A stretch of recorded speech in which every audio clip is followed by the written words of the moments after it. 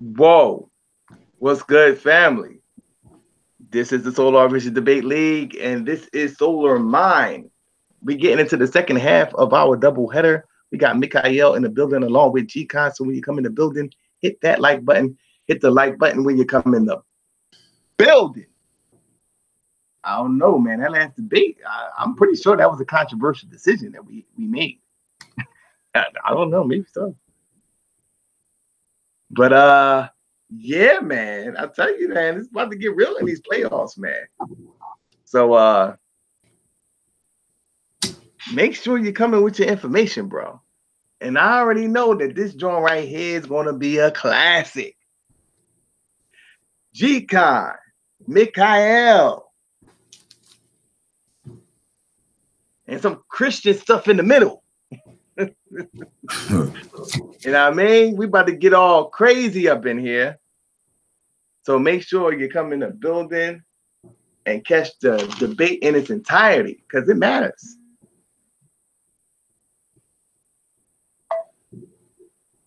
Hello? What's up?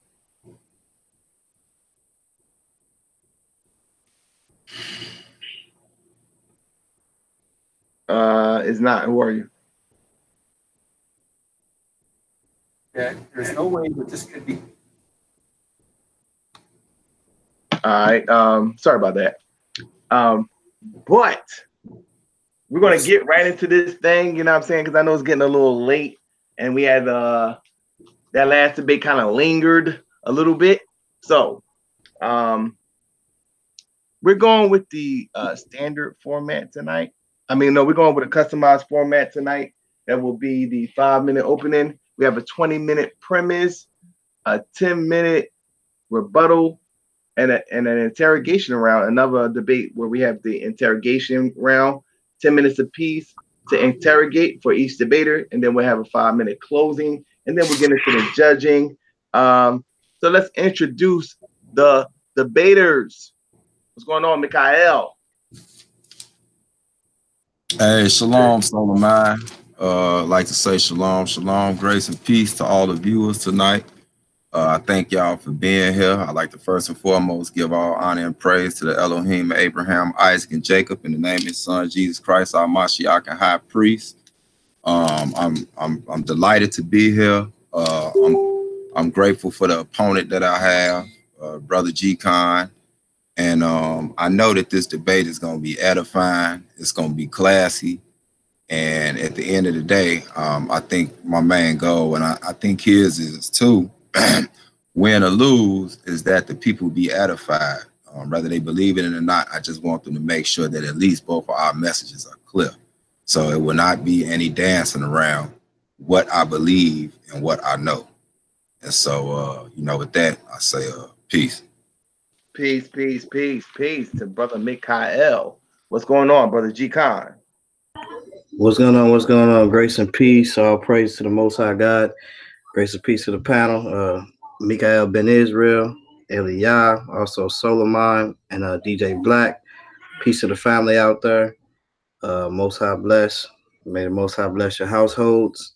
And with that being said, uh, like I say, uh, hopefully it's an edifying, uh, uh, you know, edifying uh, debate.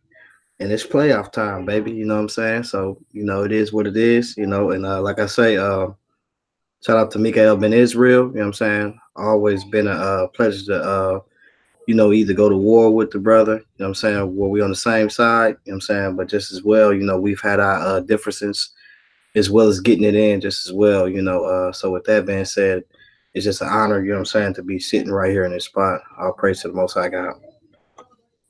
All right, all right. Shout out to both debaters.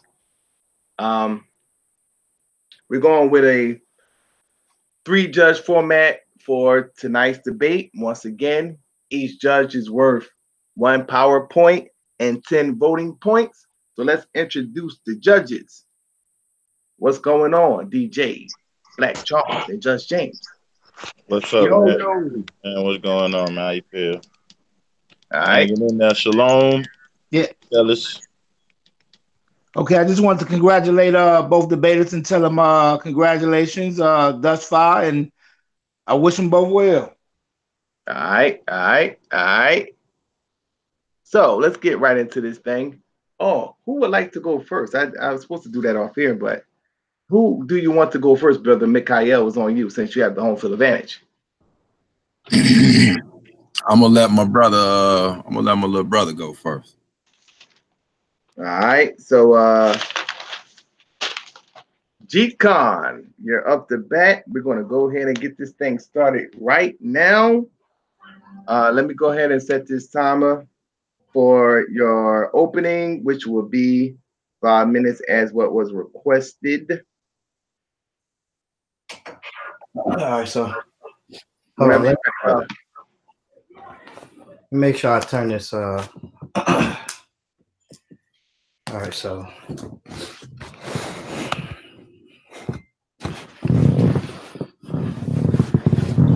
I had to go upstairs real quick. My wife now they sitting up there playing this game downstairs. But hold on, okay. So we got. Let me make sure I set my stuff up real quick. So, all right. So, uh, my premise is that, as, as you see, what the debate is, is uh, do what laws do Christians keep? Basically, that is the topic of the debate tonight and uh i'm going to be showing the laws that christians keep and uh also um that christians are not lawless and i'm going to show you you know what laws uh what what what torah is which is torah which is instructions and teachings and um the teachings of the new testament.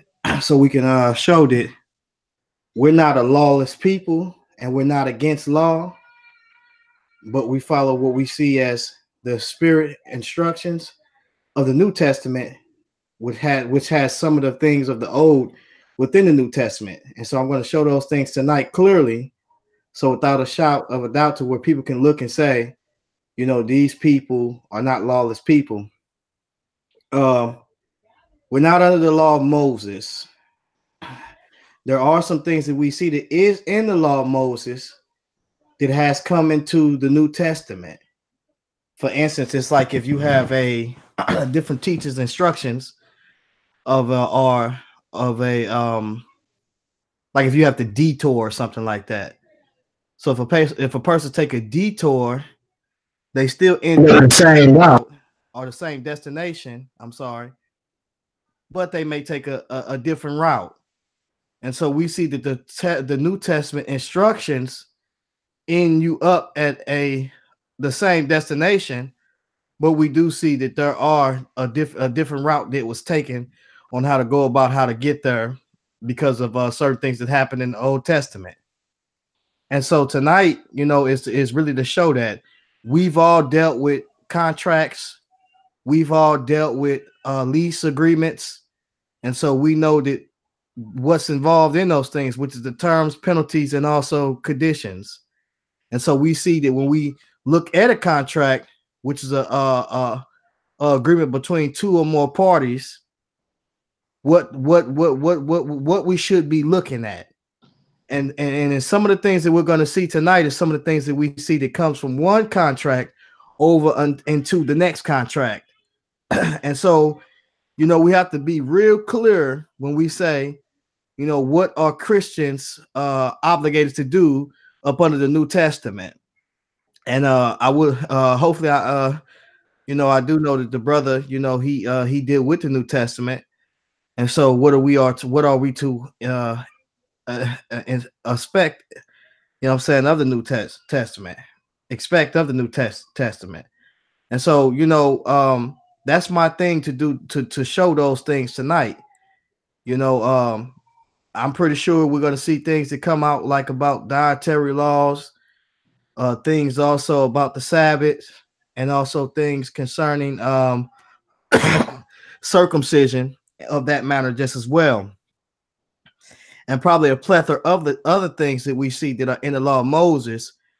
And and but mainly is to show you guys, you know, what Christians follow what instructions were we given by Christ? What instructions were we given that was in the epistles especially of those who are Gentiles and also who are Christians, uh, who are uh, Jews just as well, uh, not being under the law of Moses. And if they say they are under the law of Moses, then it's just a problem with that, you know. And so, you know, uh, just to show that there is a distinction between the New Testament and the Old Testament and the contrast there that we must look and say that, you know, one, we didn't have access or could not draw nigh, but and, and the veils was up. But through the New Testament, we have that access, seeing that Christ rent the veil and gave us access, with him being the mediator, and regenerated our spirit that we may know and understand the things of God, and given give given the spirit to reveal to us the known mind of God, that we may walk in his paths and be led back unto him and also reconcile the world back unto him. And so that is my mission overall. And I'm pretty sure that's Mikael's mission too, just as well. But I think that I can represent that mission uh better than what he can, you know. Um, and I'm gonna prove that tonight. And with that being said, I just want to uh, you know, I can, you know, end it on that one. All right, all right. Thanks a lot, uh, brother G-Con for dropping that science. Your time actually is up. What we're gonna do now is we're gonna reset this timer for five minutes for the brother Mikael. Whenever you're ready, you could begin, brother. All right, yeah, shalom, shalom, everybody. And uh I like to say, man, again, it's an honor to be here in these uh Solar Vision Debate League playoffs because we was cracking right now, baby. Everybody watching. Now I just like to say, well, my premise is and my stance is um that uh basically if I create an organization and in that organization I lay down ground rules and the foundation. And let's say um amongst amongst that um these ground rules and organizations, I lay down laws that they have to keep. I lay down prayers that they have to recite, and I give them practices that they have to perform. And these will be identifying markers to tell whether they are part of my organization. Uh, but if I was to jump into a time machine after I created that organization to, hey, let's say centuries later, and the laws are gone, which they are supposed to keep, the prayers are gone, in which they're supposed to recite, although they still keep a couple of practices and call themselves by my organization, there's only two conclusions I can come to. Either they're rogue members and they're lawless, or they are frauds and they are phonies. And so the, the point that I'm going to make is not only did the apostles who were taught by Jesus Christ himself, even uh, we know that even, you know, Mark and John, without a doubt, wrote, you know what I'm saying, contemporarily with him. Uh, you will see that the apostles and all the first and even second century Christians, all the way up to the fourth century. The second century is when the infiltration came in. You will find out that they kept all of these same laws for the most part that the disciples, the apostles, and Christ himself kept, even from circumcision, even to dietary laws, and also keeping the Sabbath. So what I'm going to prove is Yes, I'm not saying that the Christians are totally lawless, but there is a form of lawlessness in your uh these modern day Christian churches because they do not, if you put them up next to the early Christians, you literally they look absolutely nothing alike. And so, like I say, I'm gonna prove that either they're frauds, respectfully saying it, or they have most definitely erred in their ways. And so uh that's my laydown. All right, all right. Let's get right into this thing, man. I want to hear what y'all got to say now since y'all laid down that premise. All right, let's get it. Uh, so what I'm gonna do here is I'm gonna set this timer for 20 minutes as what was requested. 20 minutes. and we're gonna hand this thing over to G Con. Whenever you're ready, you can begin your premise, brother. So hold on, let me screen share. Hold on.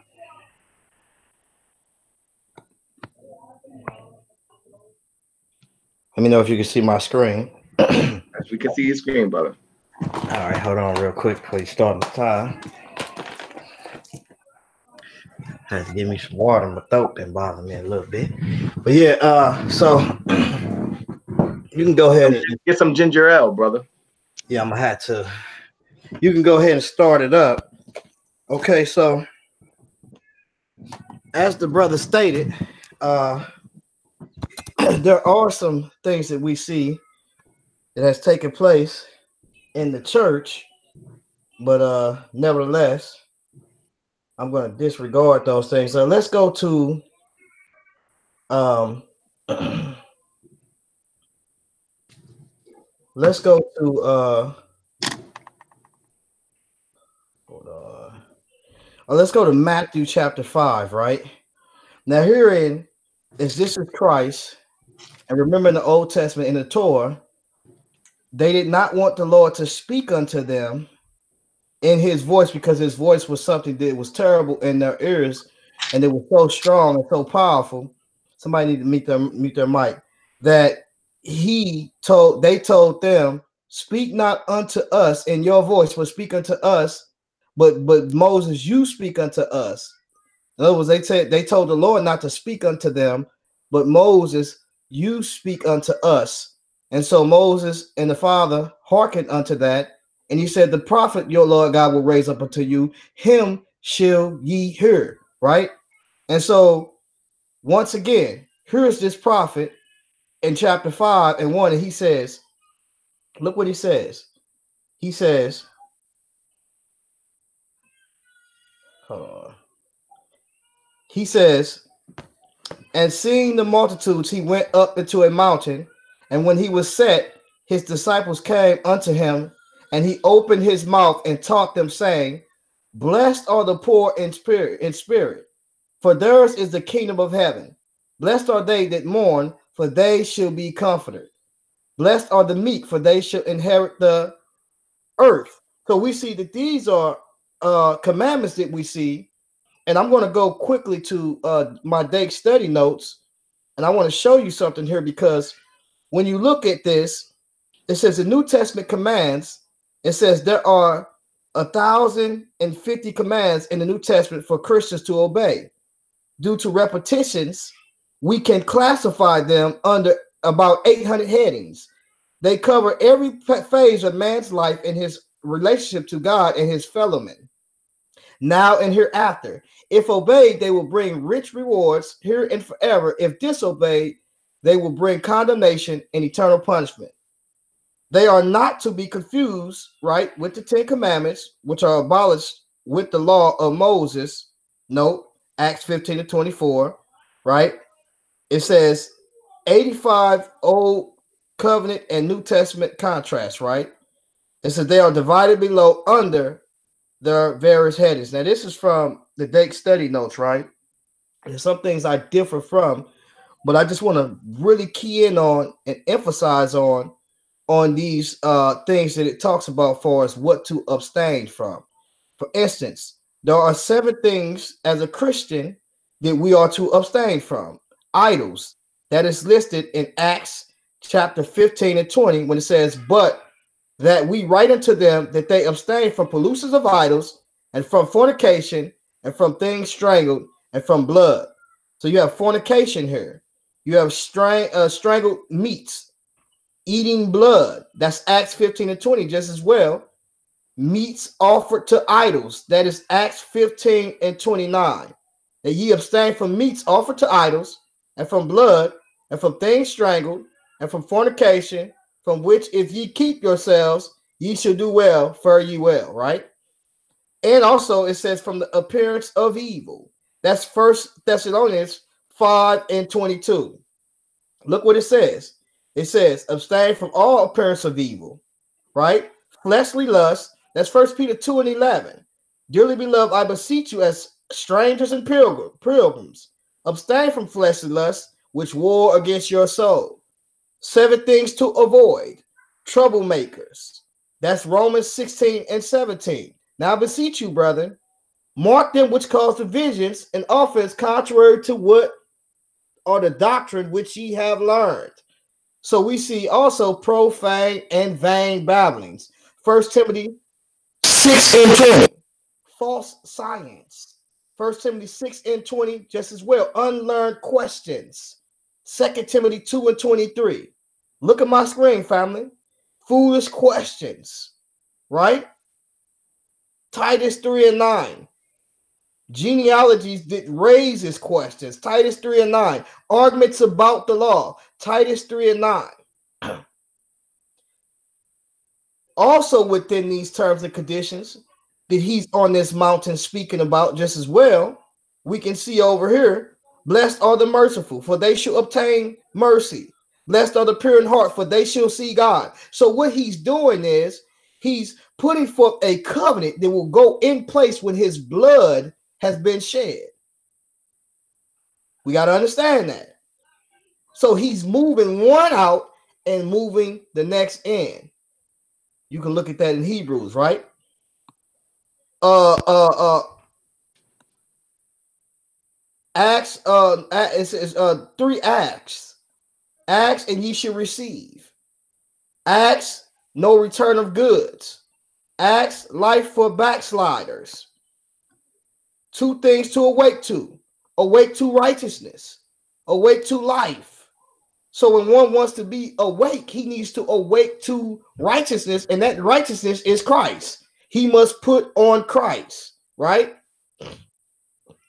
We also have uh be exceedingly glad, right?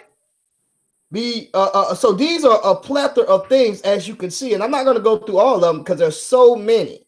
I stated before, you know, that he has a thousand here and 50 commands in the New Testament alone. Whereas uh the co- conventional or in the Old Testament, they will tell you a, a traditional, they will tell you uh that there's 613, which is a, a traditional and something that's probably made up. There's probably more than that, but you know, they do say, you know, rabbis say uh, you know 613 which there's more than that actually. But the new testament has more alone so let's begin to look at uh, some other things let's look at um all right cool so one of the things we want to look at is um the uh, dietary law every moving thing that shall be meat for you right? This is man's new diet, now included in animals, right? In the Old Testament, right?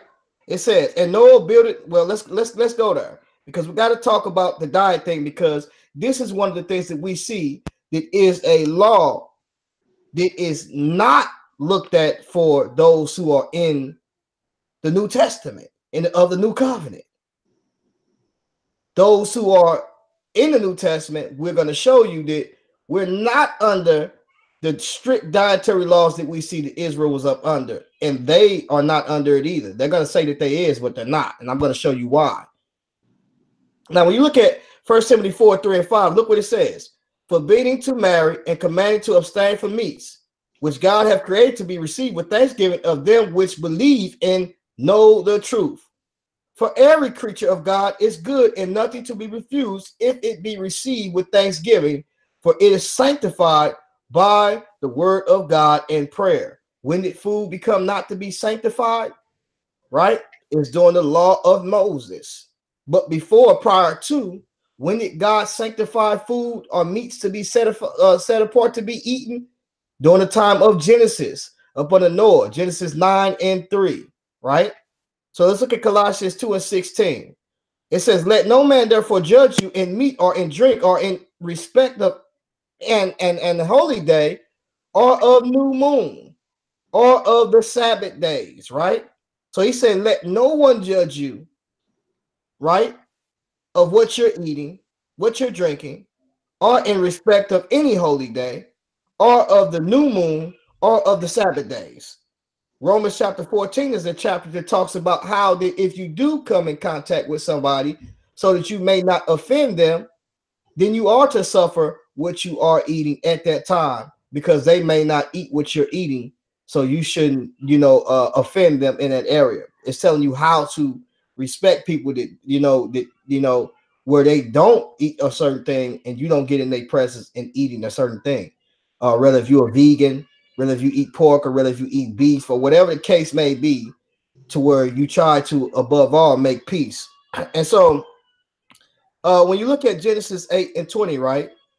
And um matter of fact, we we we will we'll get into that at the uh what you call, but what we want to get into is the is what is uh some more of the things that, Israel is, is under.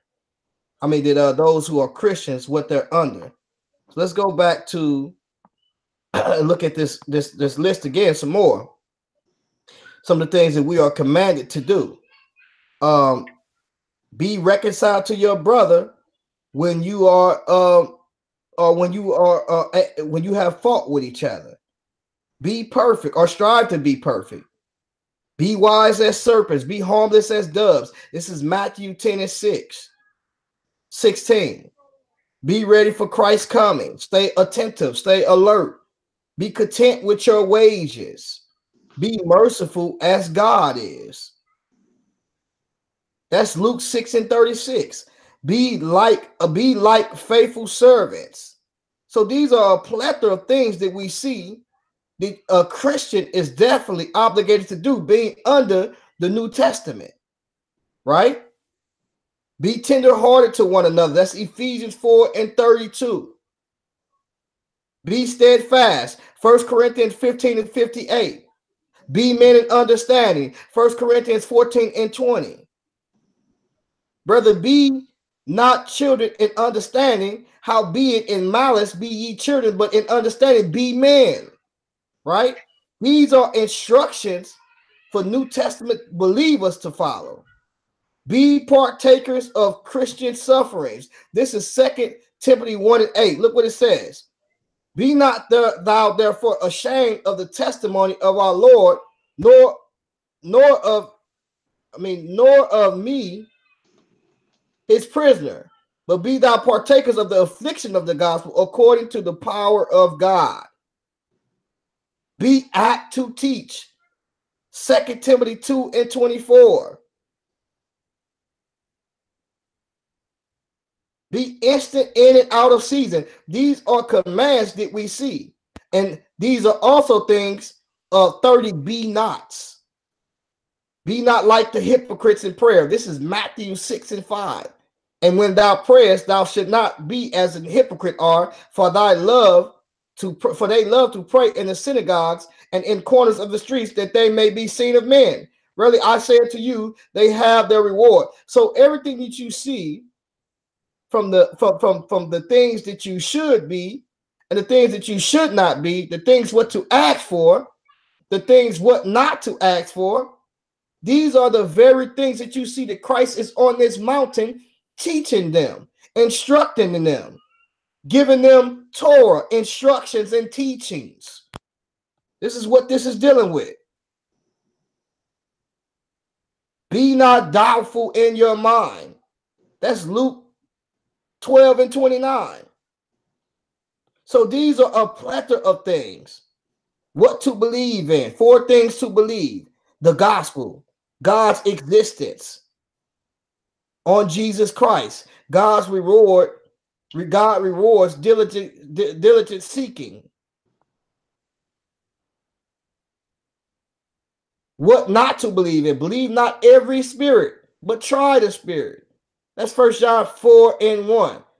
Believe not every spirit, but try the spirits, whether they are of God, because many false prophets are going out into the world. So these are a plethora, a list of things that you can look at that Christians should be following. New Testament laws. And also with things that we see of some of the Old Testament being mixed with the New Testament. Beware of hypocrisy. That is Luke 12 and 1. In the meantime, when they were gathered together in a number of a multitude of in, in so much that they trod one upon another, he began to say unto them, unto the disciples, Beware of the leaven of the Pharisees, which is hypocrisy. Beware of dogs and false teachings. That's Philippians 3 and 2. Beware of dogs, beware of evil workers, beware of the concision. Isaiah 56 to 10. His watchmen are blind, they are all ignorant, they are all dumb dogs, they cannot bark, sleeping, lying down, loving to slumber.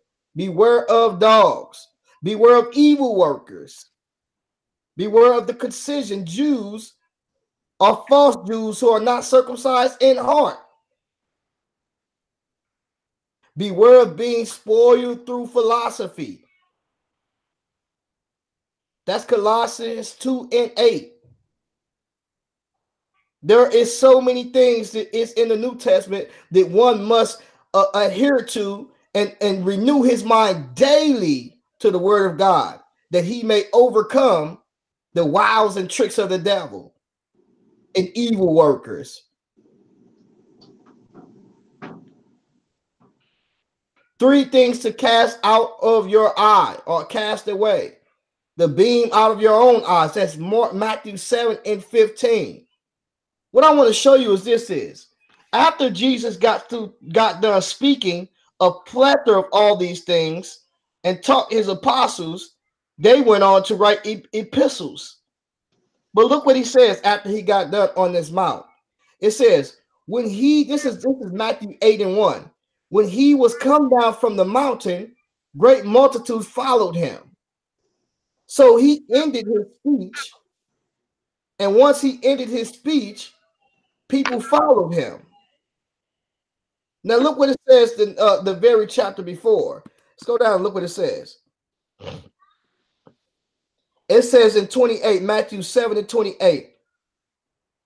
And it came to pass when Jesus had ended these sayings, what sayings? The sayings when he went up on the mount to give them the terms and conditions and penalties of the New Testament. And it came to pass when Jesus had ended these sayings, the people were astonished at his doctrine, for he taught them as one having authority and not as the scribes. So these are clear things on we on things that we can look in and follow. Now you're going to be told concerning things about uh, observing uh, all of the Mosaic laws, right? And if one is saying that he observes all the Mosaic laws, then he must observe them to where there's not a jot or tittle that is missing, that he must observe them all, every one of them. You're going to hear things about the Sabbath day. But lo and behold, the scriptures is clear in Hosea Let's get there. Look what it says in Hosea.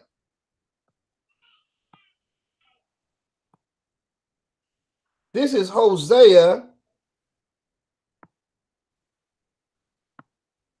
2 and 11.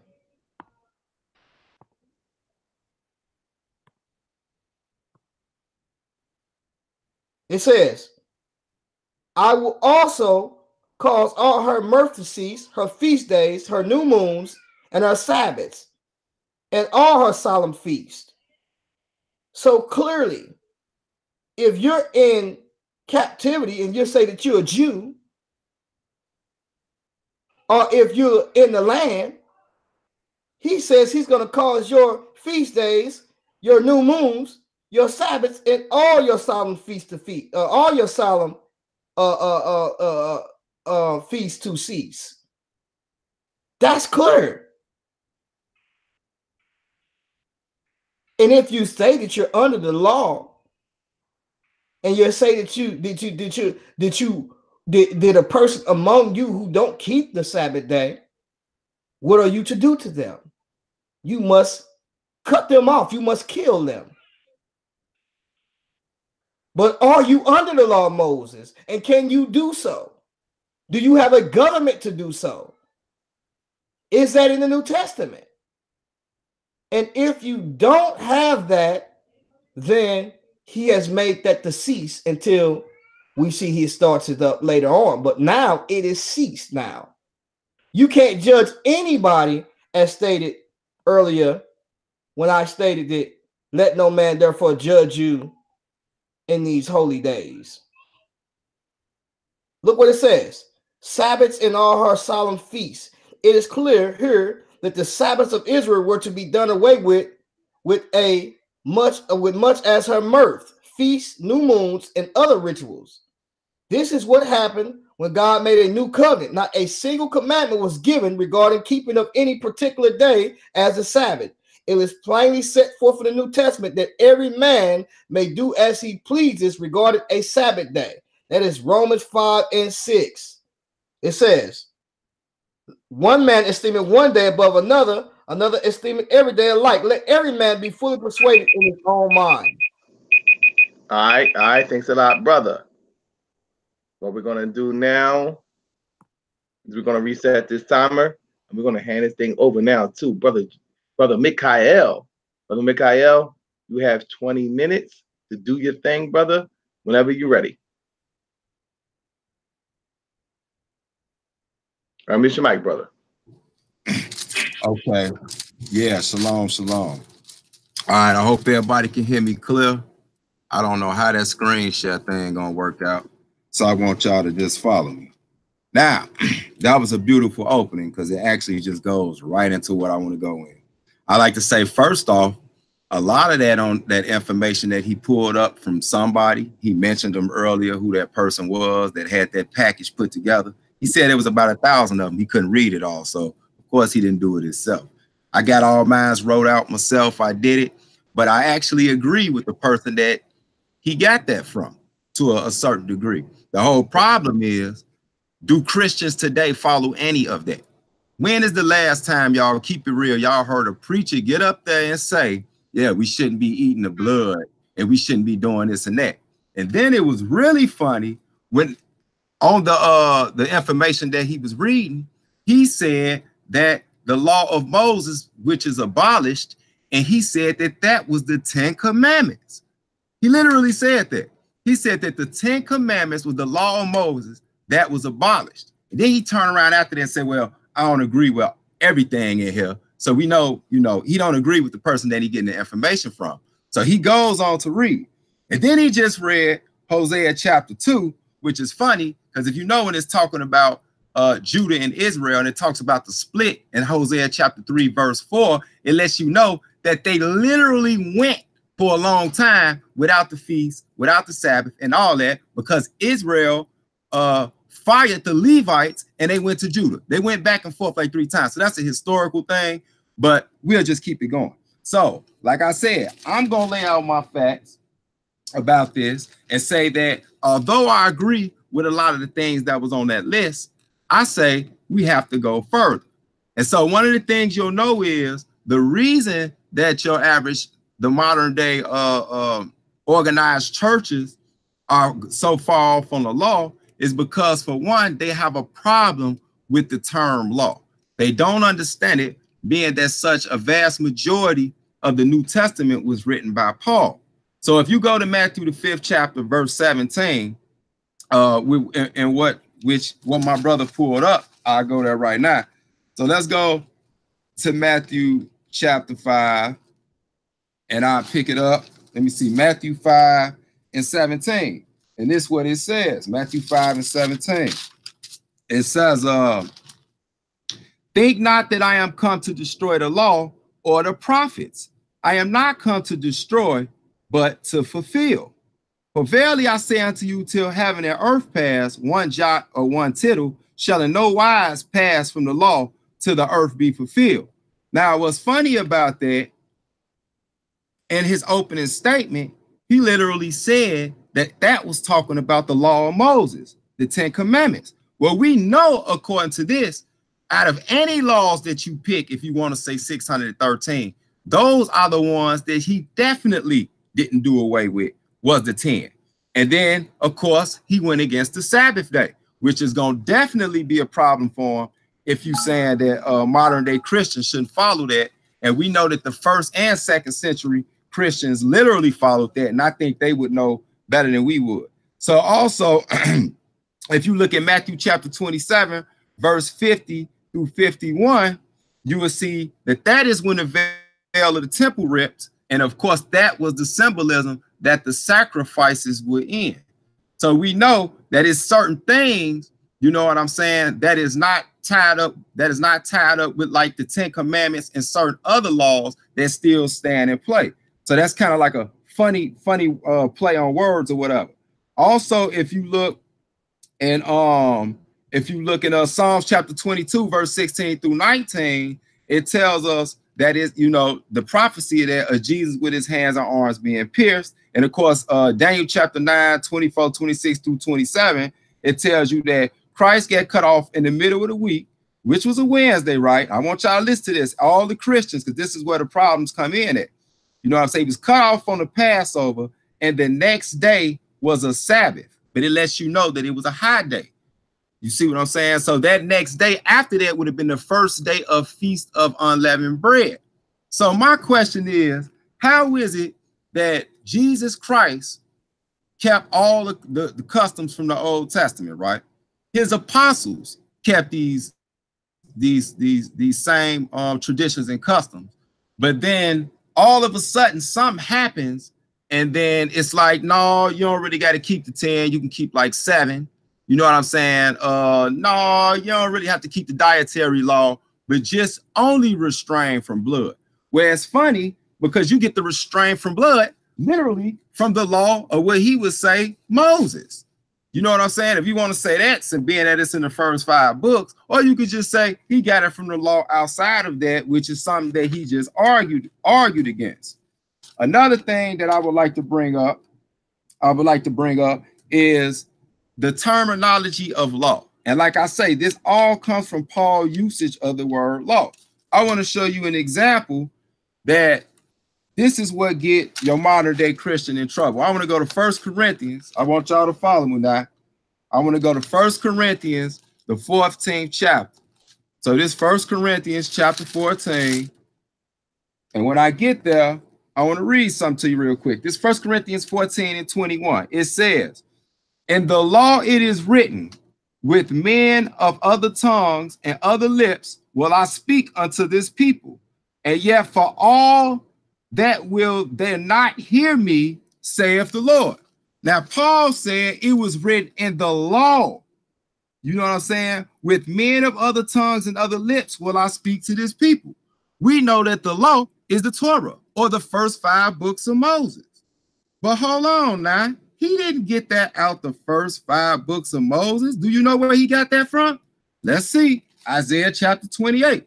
See, and what I'm proving right now is the reason that your modern day Christians don't know what laws to keep is because they don't even know what law means when they reading um mainly Paul's letter.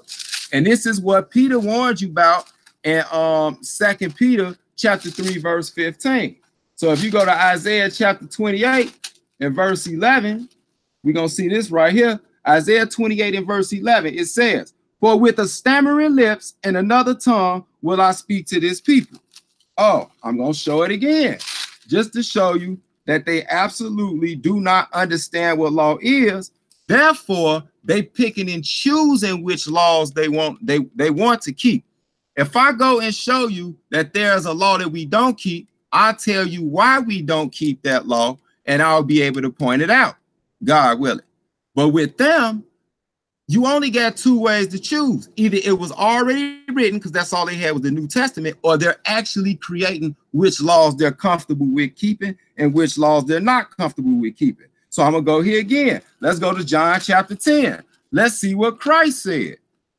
Let's see what Christ said. This is the confusion. They even have problems with uh, you know, with certain things that Christ say, because what they don't understand is amongst the Israelites, terminologies like the law would just refer to the Old Testament sometimes and not necessarily uh, a specific law as if it's uh, broke down. So you have to actually know how to contextualize it when one is speaking. So John chapter 10, verse 34, it says, Jesus answered them, Is it not written in your law? I said, Ye are gods.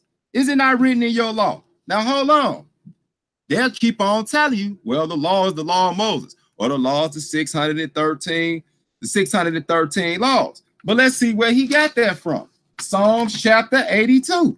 This is a song, and this is the problem. This is exactly why people, this is exactly why Peter said, Our brother Paul got wisdom, but he not for rookies, because it will destroy them. And that is why your modern day churches, so-called Christians, are destroyed for the most part.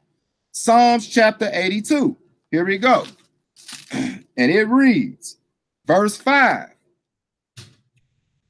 They know not, neither will they understand. They walk in darkness, and the foundations of the earth are out of course. I have said, Ye are gods, and all of you children are, are, are, all of you are children of the Most High. But ye shall die like men and fall like one of the princes. Is that the law, y'all? So now that literally eliminates somebody always running to Paul. You can even see they don't know what Christ talking about sometime and saying, see, look, he said the law was bad. My man G Con brought up Romans chapter 14, verse 14. Oh, if Romans chapter 14, verse 14 is saying that um basically you can eat whatever and it don't make you clean, that literally contradicts Ephesians chapter 5, verse 5, written by the same man. Now we know Paul wasn't schizophrenic, so that only leaves one option. That means my mans don't know what Romans 14 plus uh, uh chapter 14 and verse 14 means. And I'm gonna show you. So let me go to uh matter of fact, I'll go there since he kicked it off. Let's go to Romans chapter 14 and let's check out what he uh what he quoted. So let's see. Romans chapter 14, verse 14. Here we go. And so yeah, people, this this this definitely something that needs to go out for people to be able to deal with because it's the same stuff regurgitated over and over, and that is never challenged in the right way, if you ask me. So here's Romans chapter 14, verse 14. It says, I know and, and, and am persuaded by the Lord Jesus that there is nothing unclean of itself, but to him that is esteemed anything to be unclean, to him it is unclean. See, this is why Peter told you that. Now, we don't have a problem right here because either this is saying that Paul then lost his mind, or that means a person don't know when he's talking about law, what laws he's talking about. Ephesians chapter 5, and I'm gonna go to uh verse 5 of the light. Uh Ephesians 5 and 5. It says, For this ye know that no whoremonger nor unclean person. Wait a minute. I thought there was nothing unclean. But it tell you in the law, Leviticus chapter 11, if you eat unclean food, you're unclean. So hold on, now we got a problem. Nor covetous man who is an idolater. Uh-oh, that's in the Ten Commandments too. Although he did have that on his list, on his list, has inheritance in the kingdom of Christ and of God. So now this same Paul just said that if you're an unclean person, what makes you unclean? We know he's not talking about a woman's menstrual. I ain't never heard nowhere if a woman die on her menstrual and she go, up, she can't get into the kingdom. You see what I'm saying? So we know it's talking about there's still something that can make you unclean. And we know one of the main things that make you unclean is eating pork or eating unclean food. If you don't believe me, let's go to Acts the 10th chapter.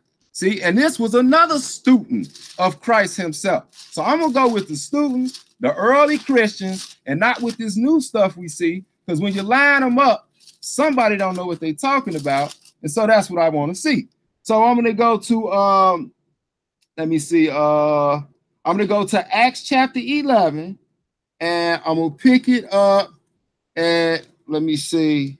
Okay, I'll pick it up at verse 8.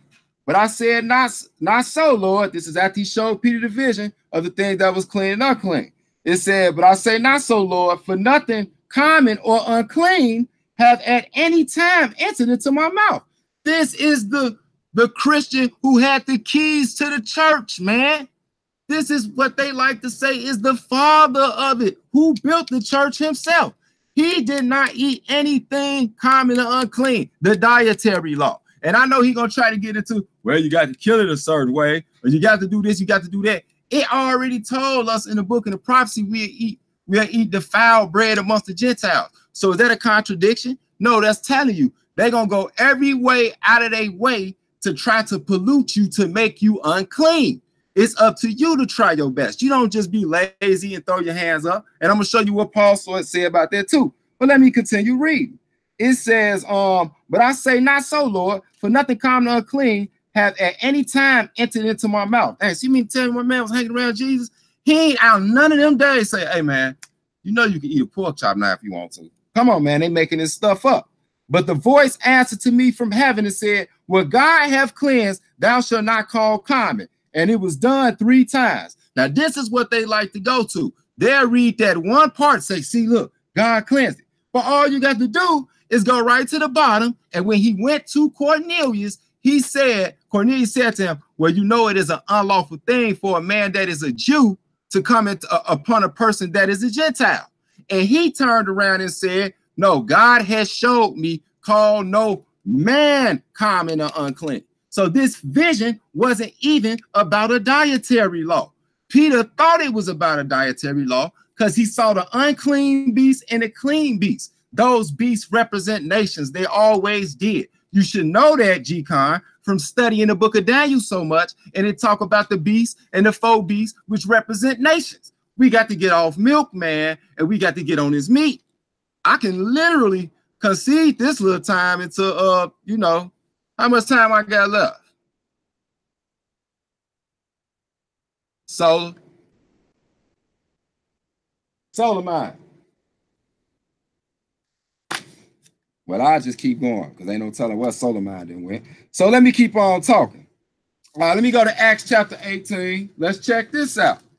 To see this, this the point I'm trying to bring out.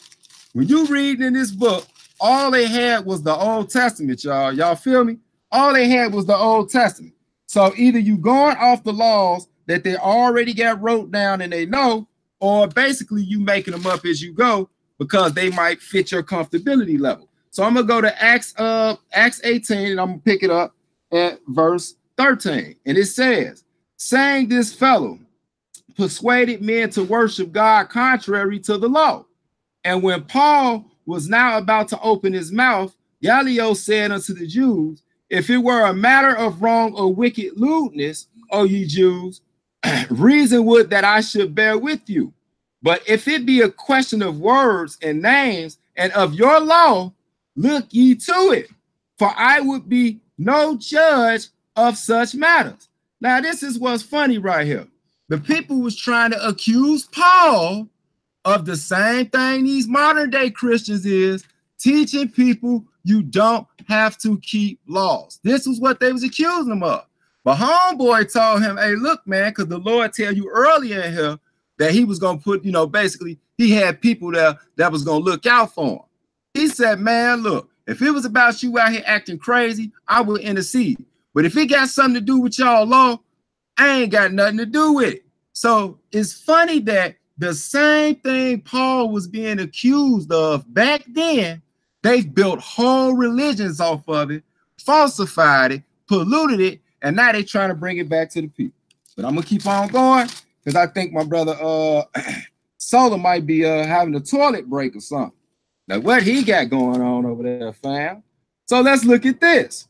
Romans no, chapter. You got, you got uh 20 minutes, brother. It's four minutes and 13 seconds left, bro. Oh, okay, okay, okay. I forgot it was 20 minutes. Romans chapter 7. So let's check out Romans chapter 7. We about to have fun with this. Because these the same things y'all hear every time when somebody want to like slither their way up off of it. And again, I'm not talking about my bro, but he representing them right now. So we got to deal with it. So let's go to Romans chapter 7 and let's look at verse 7. Let's see what he said about the law. Okay, and now we know to contextualize which laws he's talking about. Romans 7, I mean, Romans, uh, here we go, verse 7. What shall we say then? Is the law sin? When he was reading that earlier, it, it literally basically said if you around here pushing the law, you basically basically wicked. God forbid. Nay, I had not known sin, but better law. For I had not known lust, except the law had said, Thou shalt not covet. Oops. Oh man. Ain't that the ain't that in the Ten Commandments? Why these take why do this royal law that that sheet that he read off of literally said, or for what he said, was the law of Moses, which was the Ten Commandments, which was abolished. So That's that was Romans seven and seven. That was Romans 7 and 7, bro. Oh, and there's more. Let's keep reading. Verse 8. But sin taking occasion by the commandment wrought in me all manner of concupiscence. For without the law, sin was dead. You ask yourself, what does he mean by that? Well, let's see. For I was alive without the law once, but when the commandment came, sin revived and I died.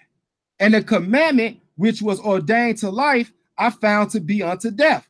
For sin taken occasion by the commandment deceived me, and by it slew me. And that's the problem. These people running around saying Christ, Christ, Jesus, Jesus, we are Christians. There ain't no law, have been deceived by sin. This is what he tell. Like, let's just look at this. Because he only understood the letter at one time. Christ is getting him to understand the spirit behind it, not get rid of it. It says, Wherefore the law is holy, and the commandment holy, and just, and good. Oh my God. This is Paul. Why they never read this? They run to the ones that they don't understand, and they try to make Paul look like a madman. So again, my stance is when we look into history, which I'm going to read off on my next time, we're going to read those earliest ones who were taught closer by the timeline of the apostles, and we're going to see did they keep the Sabbath day. Think about it now. They were already pushed out of Jerusalem in 70 AD. You see what I'm saying? We're going to see did they get circumcised, and we're going to see did they keep a so called quote unquote kosher diet. That will show you who the real Christians was. And by the way, they were founded by Israelites, the real original Christians, messianics, whatever you want to call them, were founded by Israelites. So if it is not an Israelite foundation on it, if you can't see nothing that even resemble an Israelite in it, it ain't from God, and it definitely ain't a Christian. It's paganism. I can see. All right, all right. Shout out to brother Mikael. Just got back from my toilet break, and I'm about to get into this next round. uh, let's set this timer for what we got. The rebuttal, 10 minutes. Set this timer for 10 minutes, and we're gonna hand this thing over to Brother G Con. Brother G Con. You have 10 minutes for your rebuttal whenever you're ready. You can. All right, cool. So if you can clearly see, um, it says that in Acts 15 and 3, right? It says, And certain men which came down from Judea taught the brethren and said, Except ye be circumcised after the manner of Moses, you cannot be saved, right? It says, Now when therefore Paul and Barnabas had no small decision and disputation with them, they determined that Paul and Barnabas and certain of them should go up to Jerusalem unto the apostles and elders about this question. Now, here's the thing it says, be circumcised after the manner of Moses. But check this out and look at the the the the um what took place with this. Now, when you look at it, it says um this is uh um this is this is Acts, right? At the beginning. Now look what it says.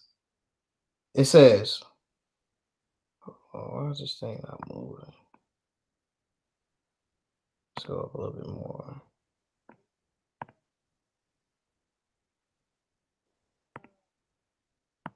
Oh my god. All right, so it says it says right here, it says that oh where am I at? I hear this right here. This is verse 5. But there rose up certain of the sect of the Pharisees which believed, saying that it was needful to circumcise them and command them to keep the law of Moses. Let's look at the turnout of this because one of the things that he's going to talk about, he's going to talk about, as I stated before, the Sabbath days, which I showed you that if a person is supposed to keep the Sabbath day, then I mean, if a person don't keep the Sabbath day, then they shall be stoned. Does Mikael have the right to stone me? Can he throw a stone at me? For the scriptures is clearly stated in Moses, it says that not one jot or tittle shall fail from the law. Deuteronomy 27 and 26 says that you must do all that is contained in the law, the book of the law, to do them. You must do all of them. So does Mikael has a stone to throw at someone that is a Christian that is not keeping the law? He just read to you, according to the dietary law previously, that it says that you will eat your defiled bread among the Gentiles. Do you know that Mikael does not raise his own food or he does not keep kosher, so his bread is defiled? He gets his groceries just like everybody else from the groceries that we see that's at the markets that are heathen markets. Do you know that he is not keeping the dietary law, nor is he keeping the Sabbath at all? But he will tell you that he would. Do Mikael keep the judgments of the law of Moses? He possibly couldn't because he doesn't have a government nor civil laws to judge me or do any of those things. This is why it says, Let no man judge any man according to new moon, Sabbath days, or none of those things. You have no judgment nor no civil government government to judge anybody. First off, and also it says that a Christian or believer should not be a hypocrite. So why are you being a hypocrite, Mikael ben Israel? If you want to sit in the seat of Moses, then you must be judged by Moses for not doing the entirety of the law. Now let's talk about that being defiled that you talked about. Let's get into that and see what that's talking about. Now, let's look at what Christ says here.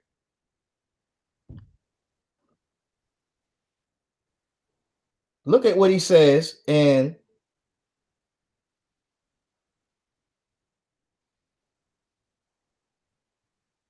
This is nothing that enters into a man can defile a man. Let's go to that scripture.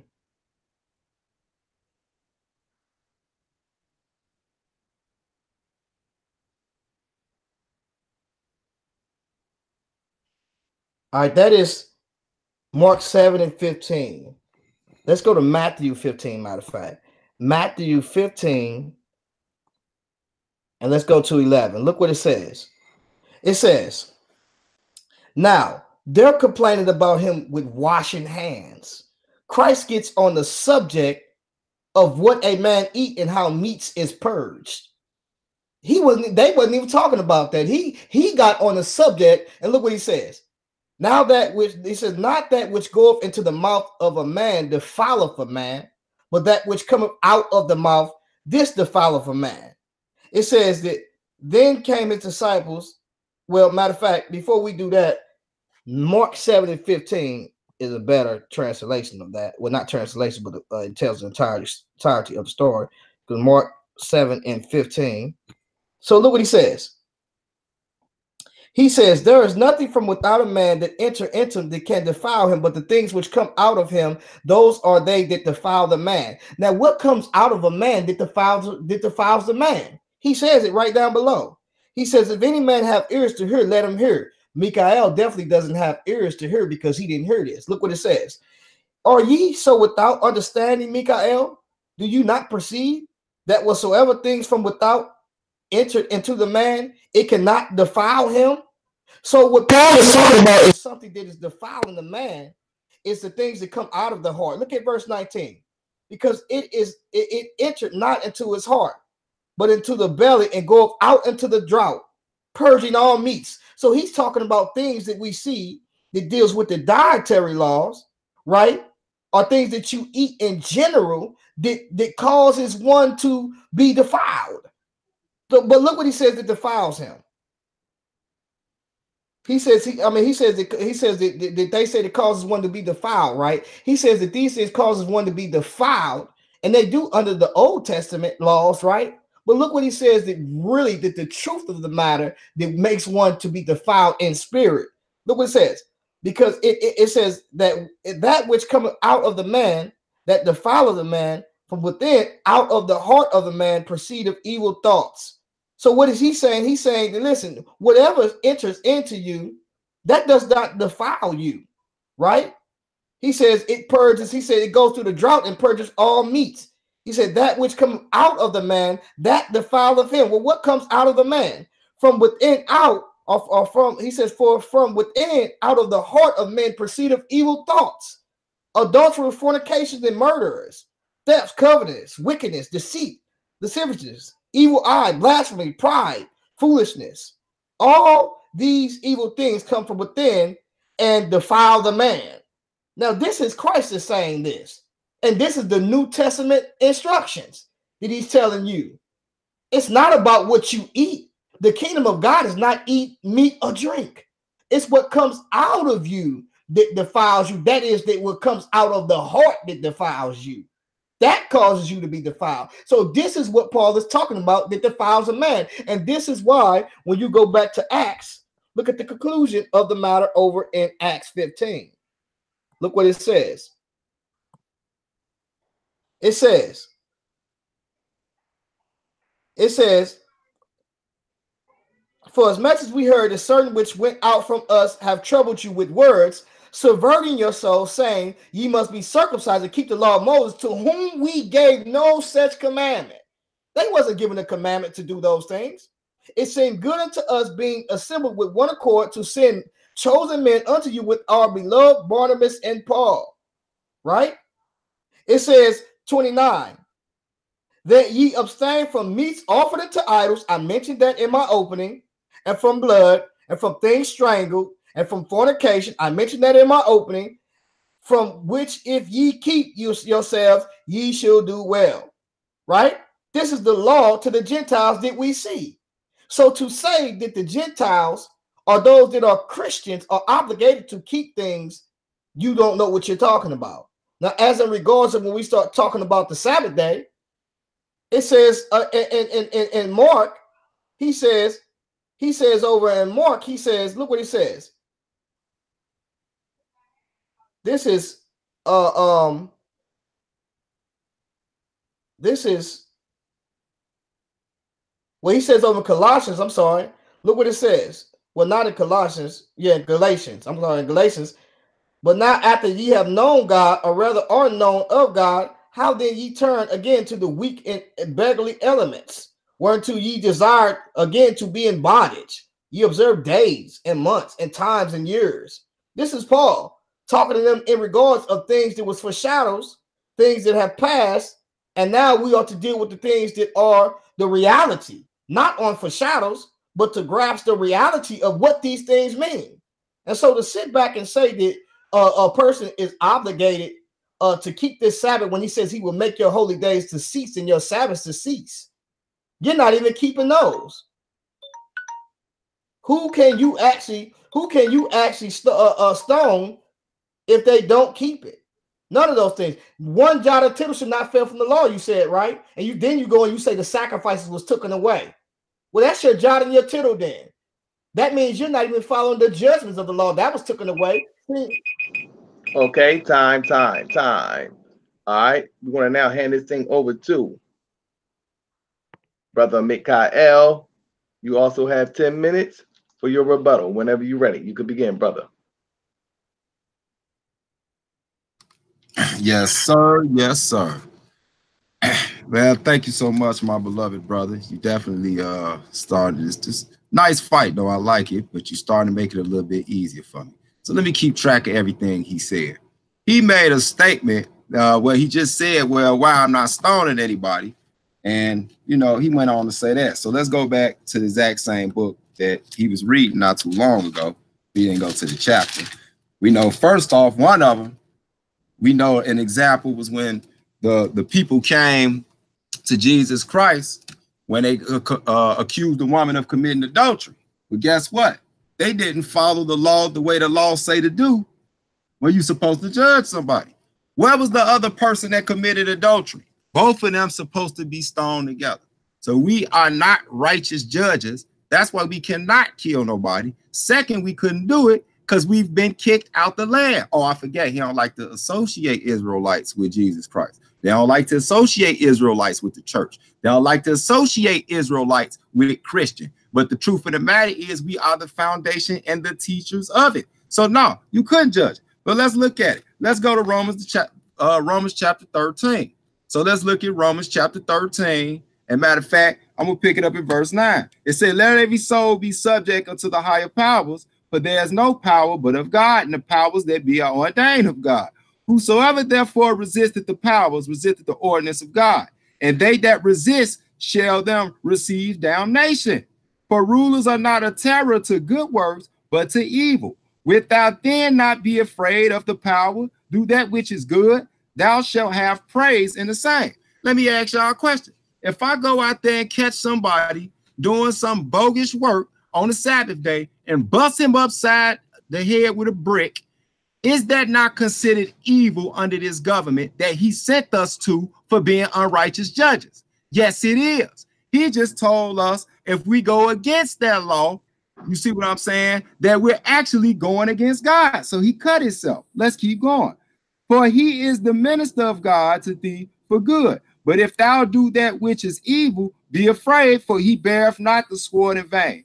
For he is the minister of good and the revenger of them that execute wrath against them that doeth evil. So the Most High is going to do that judging for us. All those little things, He's going to do that because when we had a chance to do it, we messed up and we got ourselves kicked out the land. This ain't that hard, man. I'll just keep on reading. Let me go to verse 8.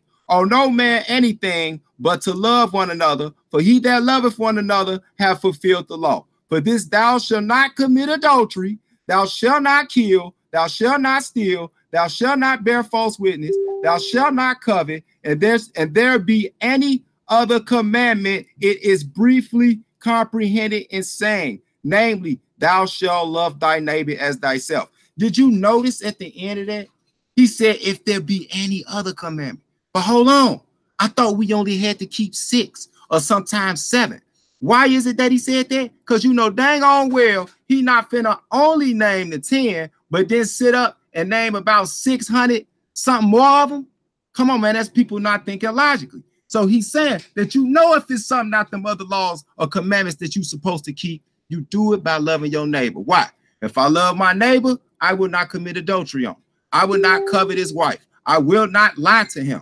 I will not uh steal from him. This is real simple, man. So let me keep it going. He also said, oh, he said so much stuff. Oh, okay.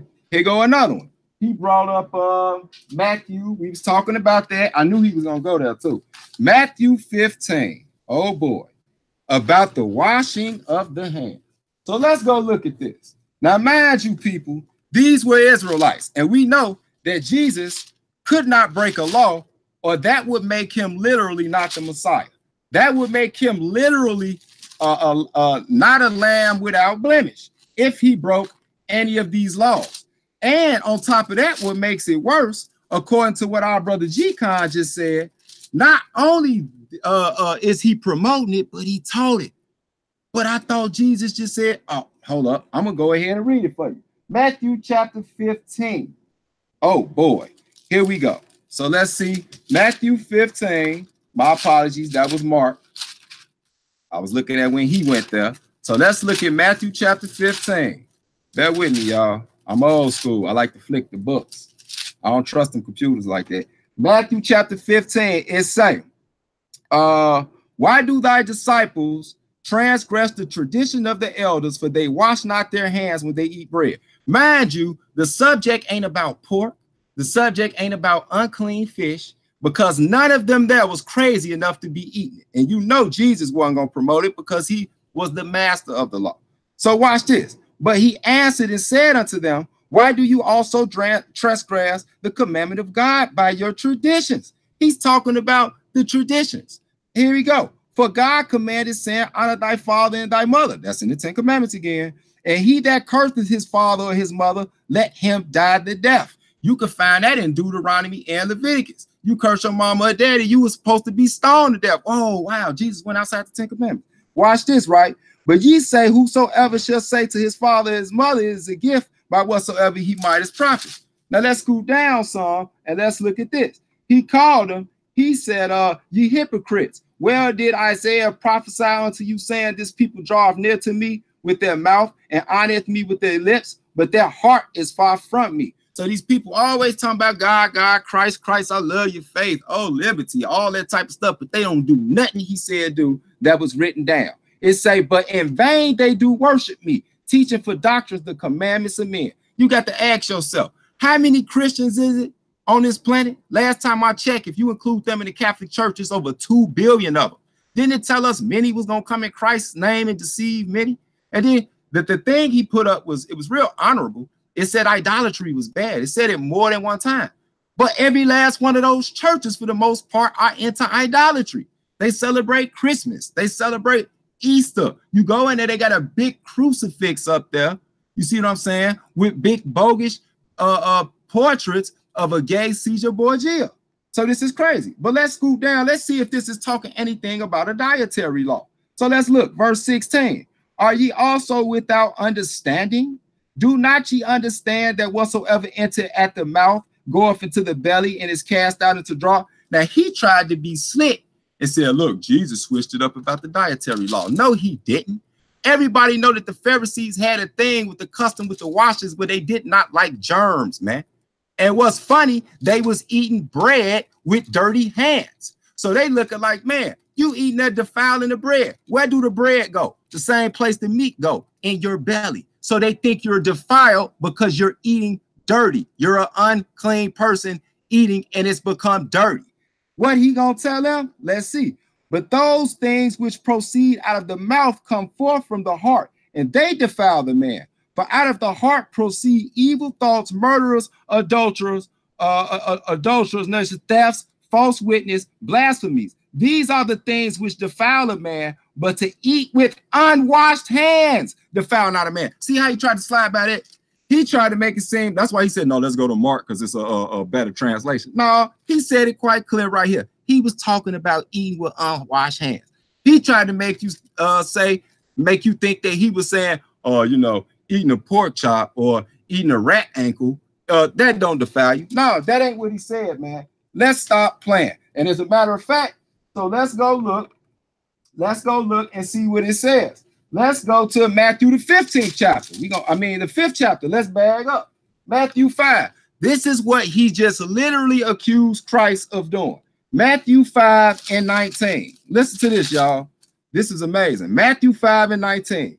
Whosoever therefore shall break one of these least commandments, maybe you was talking about that John Tittle earlier, and shall teach men so. Now hold on. Didn't he just say Christ was teaching us that we could break Leviticus 11, the dietary law, when we clearly seen it was talking about dirt on your food? He is, he is saying the man broke his own law and shall teach men to do so. He shall be called the least in the kingdom of heaven. But whosoever shall do and teach them, the same shall be called great in the kingdom of heaven. So according to the logic G-Con just tried to lay out there, Christ's gonna be considered the least in the kingdom of heaven. God forbid. Let's continue on with it now, man. This, woo, you can turned it up some, little brother. This is what I like, though. This is what I like. So let's look at something. He says, uh, John chapter 7. Let's see if this Moses thing is so bad because it keeps being brought up. Like I say, I already proved earlier, they don't be knowing how to contextualize this. You know what I'm saying? So let's look at it. John chapter 7 and verse 23. Let's check something out real quick. So this John chapter 7, verse 23. And this is what it says. I started 22. Moses therefore gave unto you circumcision, not because it is of Moses, but of the Father. All right, repeat that last verse that you uh just split right there, brother. Okay, it said Moses therefore gave unto you circumcision, what? not not because it is of Moses, but of the Father. All so right, what, what's the Bible verse, brother? Oh, that is uh that is Matthew the fifth chapter in the 22nd verse. Okay, thanks a lot. Fifth chapter, 22nd verse. All right, I got you, brother. So what we're gonna do now is we're gonna get into this rapid fire round, and we're gonna start out with the interrogation. Says brother Mikael um, allow G Con of go first. We're going to let him um, lead on the interrogation. The time is set for 10 minutes. Whenever you're ready, you can begin your interrogation. Brother Mikael. Okay, give me okay. one second. Give me one second. Um, okay. Okay, uh, brother G Con. Yes, sir. All right. Um, let me ask you a question. Um, So according to Ephesians, could, could you go to Ephesians chapter 5 real quick for me? All right, hold on. Ephesians 5. Go ahead. And what? Okay. Okay, Ephesians chapter 5. Hold on, let me get that real quick. I was pouring me some water.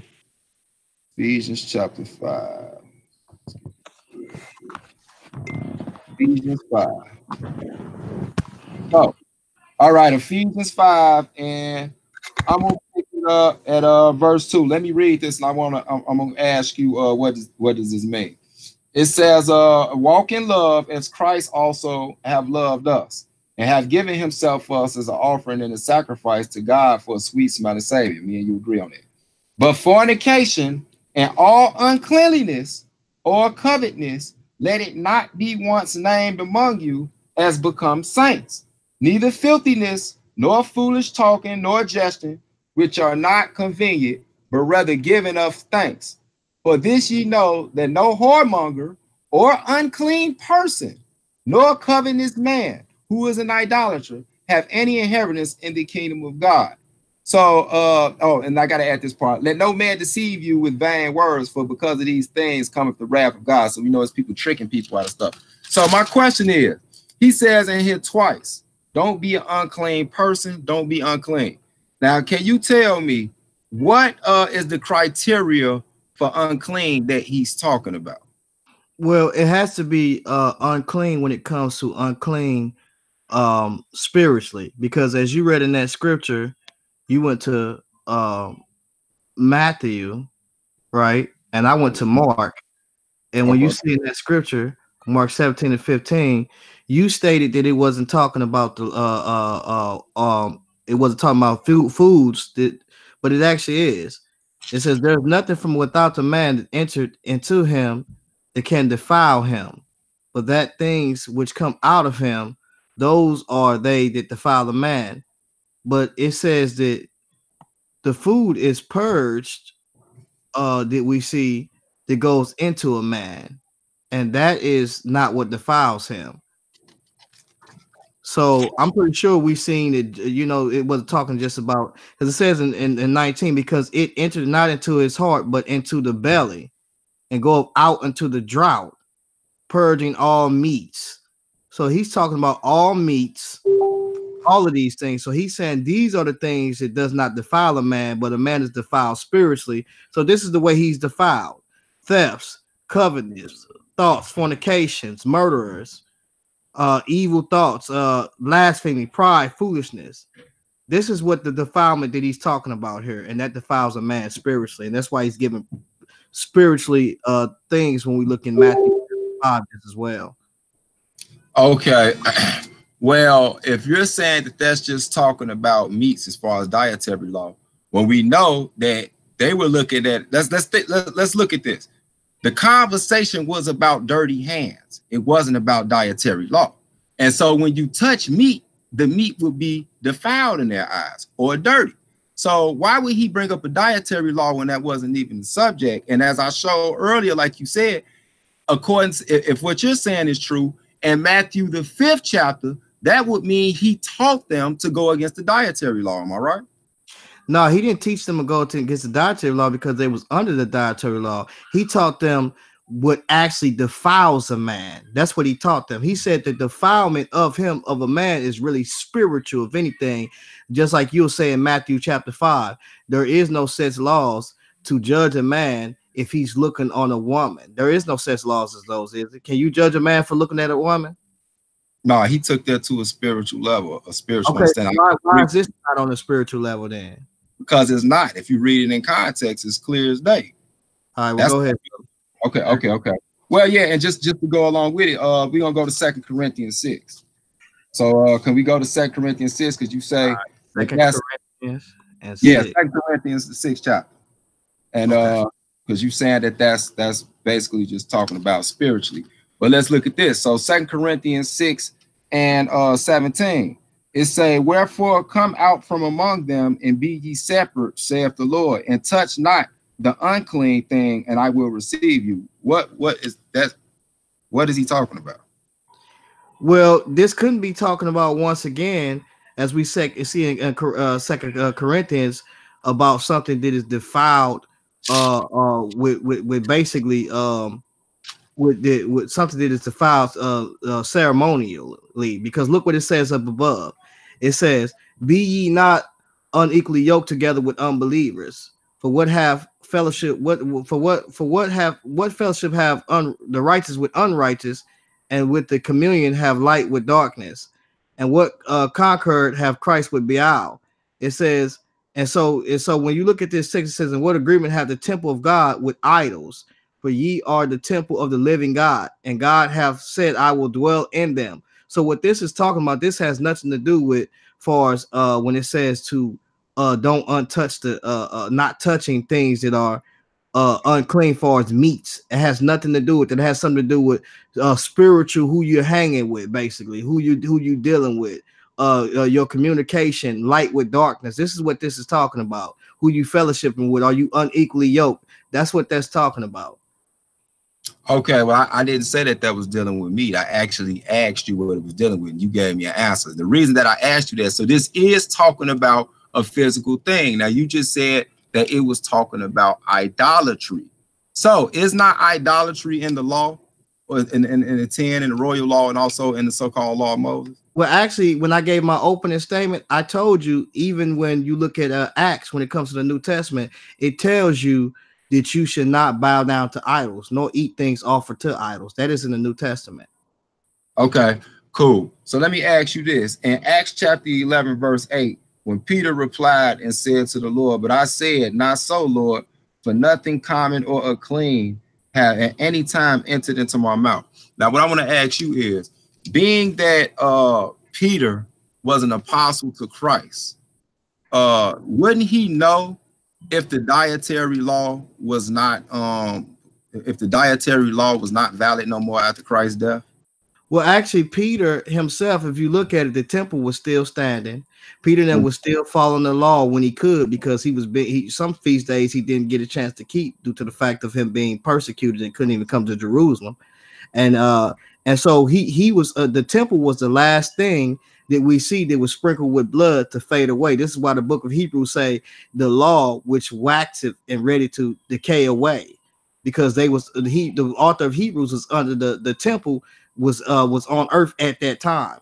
So that was the last thing that we see that was sprinkled with blood that was there heaven and earth at that time. So yes, he Peter was as we see was following up under the law to to to what he what he could do. You know I'm saying, supposedly, whatever case may be, but he was even confronted with certain things, even in the book of Galatians, because he was eating with the Gentiles, and uh, uh he was he, he was living as the manner of Gentiles do when Paul confronted him. So when you look at this, this is this this has uh you know you know this really doesn't really have no substance for reals like that. Okay, cool. So so let's go to something else you brought up. Let's go to Colossians the second chapter uh, you brought this up about the no judge and the meats. So I want to read this real quick. So this second Colossians um, verse 16, it say, Let no man therefore judge you in meat or in drink or in respect of a holy day or in new moon and of Sabbath days. So I have to ask you, uh uh G-Con, you do know that he's actually talking to the Gentiles, right? The people that will be converting over to this new religion of Christianity. You do know that, right? Right. Talking to okay. yeah, Gentiles, yeah, uh, Gentiles, yeah. Okay, cool. So if if the if these Israelite Christians, because that's who they were, who were going who, who was going to convert them, were not keeping the new moons, the Sabbaths, the holidays, or the drinks of meat, if they weren't keeping the dietary law, why would he tell the Gentiles to not, not let nobody judge you?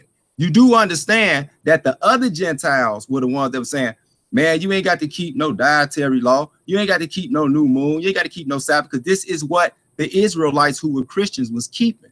So, do you not understand that, that that's that's the real narrative of how they go? Well, actually, that's not the narrative. When you actually go farther, you see what's going on here. It's actually Judaizers, Judaizers just following them, chasing them, trying to glory in their flesh, telling the Gentiles that they must keep the law and also be circumcised, as we read in Acts chapter 15. Hence, this is why when we look at the letters that was going out among the Gentiles to tell them that they did not tell these Jews to be doing no such thing. So was the people who's actually judging them here is those who are Judaizers that are doing those things and not actually uh uh you know uh what you what you're saying at all. All right, all right. So we're gonna allow G-Con to now interrogate. Set the timer for 10 minutes. G-Con, whenever you're ready, you can begin your interrogation. All right, cool. So uh my first question is is um did Adam have the Sabbath? Did Adam have the Sabbath? Yes, can you show where Adam kept the Sabbath in the in the book? Uh, no, I can't. I can't show where it's written that he uh kept the Sabbath. Not off, not off top hand. No. Uh do you believe that Moses was the author of the of the of Genesis? You mean did he? Is he the one that wrote it down? Yes. Him, his scribes. Yeah. So why wouldn't Moses um mention anything about the Sabbath until we get to the law of uh till we get to till we start getting into the wilderness? Why wouldn't he mention none of those things about the Sabbath during Adam's time? Well, I mean, it's a few things that we know wasn't written straight out in law. You can go into hell. You know, you don't get until what you see Noah that you see clean and unclean, seven clean, two and unclean. You also see about sacrifices, but it wasn't laid out in the law written. So a lot of things were oral before they was written down. Okay, so as to that, when you say clean and unclean, Mhm. um, are you are uh, um? I have a question here. it could have uh, been sacrifices. Right, because when you say clean and unclean, what do you think about Genesis 8 and 20? It says, And Noah builded an altar unto the Lord and took of the every clean beast and of Mhm. every clean fowl and offered burnt offerings on the altar. And the Lord smelled a sweet savior, and the Lord said his heart, said in his heart that he will not curse the ground again. Now, the question I have for you is this is is a roebuck clean or deer clean? Say that again. Is a roebuck clean Or deer clean. clean? Yes, they are. Um, it says in this verse right here, it says that he offered on the altar Right. of every clean beast a burnt offering, and it was a sweet smell offering. Can you offer? Is it clean to offer a deer or a roebuck or a gazelle on the altar of the Lord as a sweet smelling savior? Not under the Levitical law when it was written down. No. So why did you bring up clean and unclean as if it was making reference to the Levitical law? Then I didn't say it was making reference to Levitical law. I said it was making a reference to the sacrifices that he made. That's exactly what I said. Right. So these sacrifices and the clean sacrifices that we see here would have to be sacrifices then that were something that was suitable for the altar, that was sweet smelling savors, and not as you would try to say, uh, the unclean here would be pork, but actually it was unclean or not clean. A gazelle and z- zebra, I mean a gazelle and roebucks are not clean things to offer on the idol just as well. I mean on the on the offer just as, on the altar just as well. So another question I have for you is this is, is um Before you get to your next question, I hope the audience know I never made that argument. You interjected that. All right, cool. So, so, um, uh, in in in, in Genesis uh nine and three, uh, Yeah. it says that in Genesis nine and three. Hold on, let me- Let's go there. It says, and and and every moving thing that liveth should be meat for you, even as I've given green herb, I have given you all things. Now let's go mm-hmm. to verses, and the fear of you and the dread of you shall be upon every beast of the earth, and upon every fowl of the air, upon all that move upon the earth, upon all the fishes of the sea, until your hands have I delivered them. Now, can I ask you a question? Go ahead. Would God give them every living, moving thing to be eaten here? Oh, that's a simple answer. You're gonna love this one, so you can never use it again. Well, we understand before the uh, the, the laws was textualized, like in Leviticus, it was certain things that were not put emphasis on. Just like at that same time, guess what else you could do? You could marry your brother. You could marry, you could marry a close in-law. You could have babies with them. So that's null and void. Okay, so clearly, so clearly we see that Abraham, Isaac, I mean Abraham, Isaac, Jacob, and all of them we see they were not up under the law of Moses when it came to the dietary law.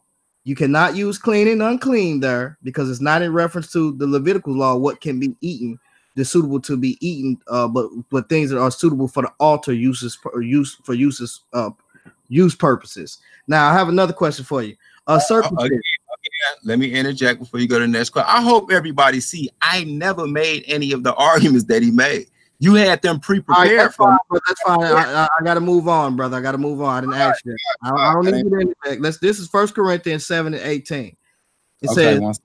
It says. First- Uh, you say seven and eighteen, bro? is, is circumcision a requirement of to to is is being circumcised a requirement to uh in the New Testament?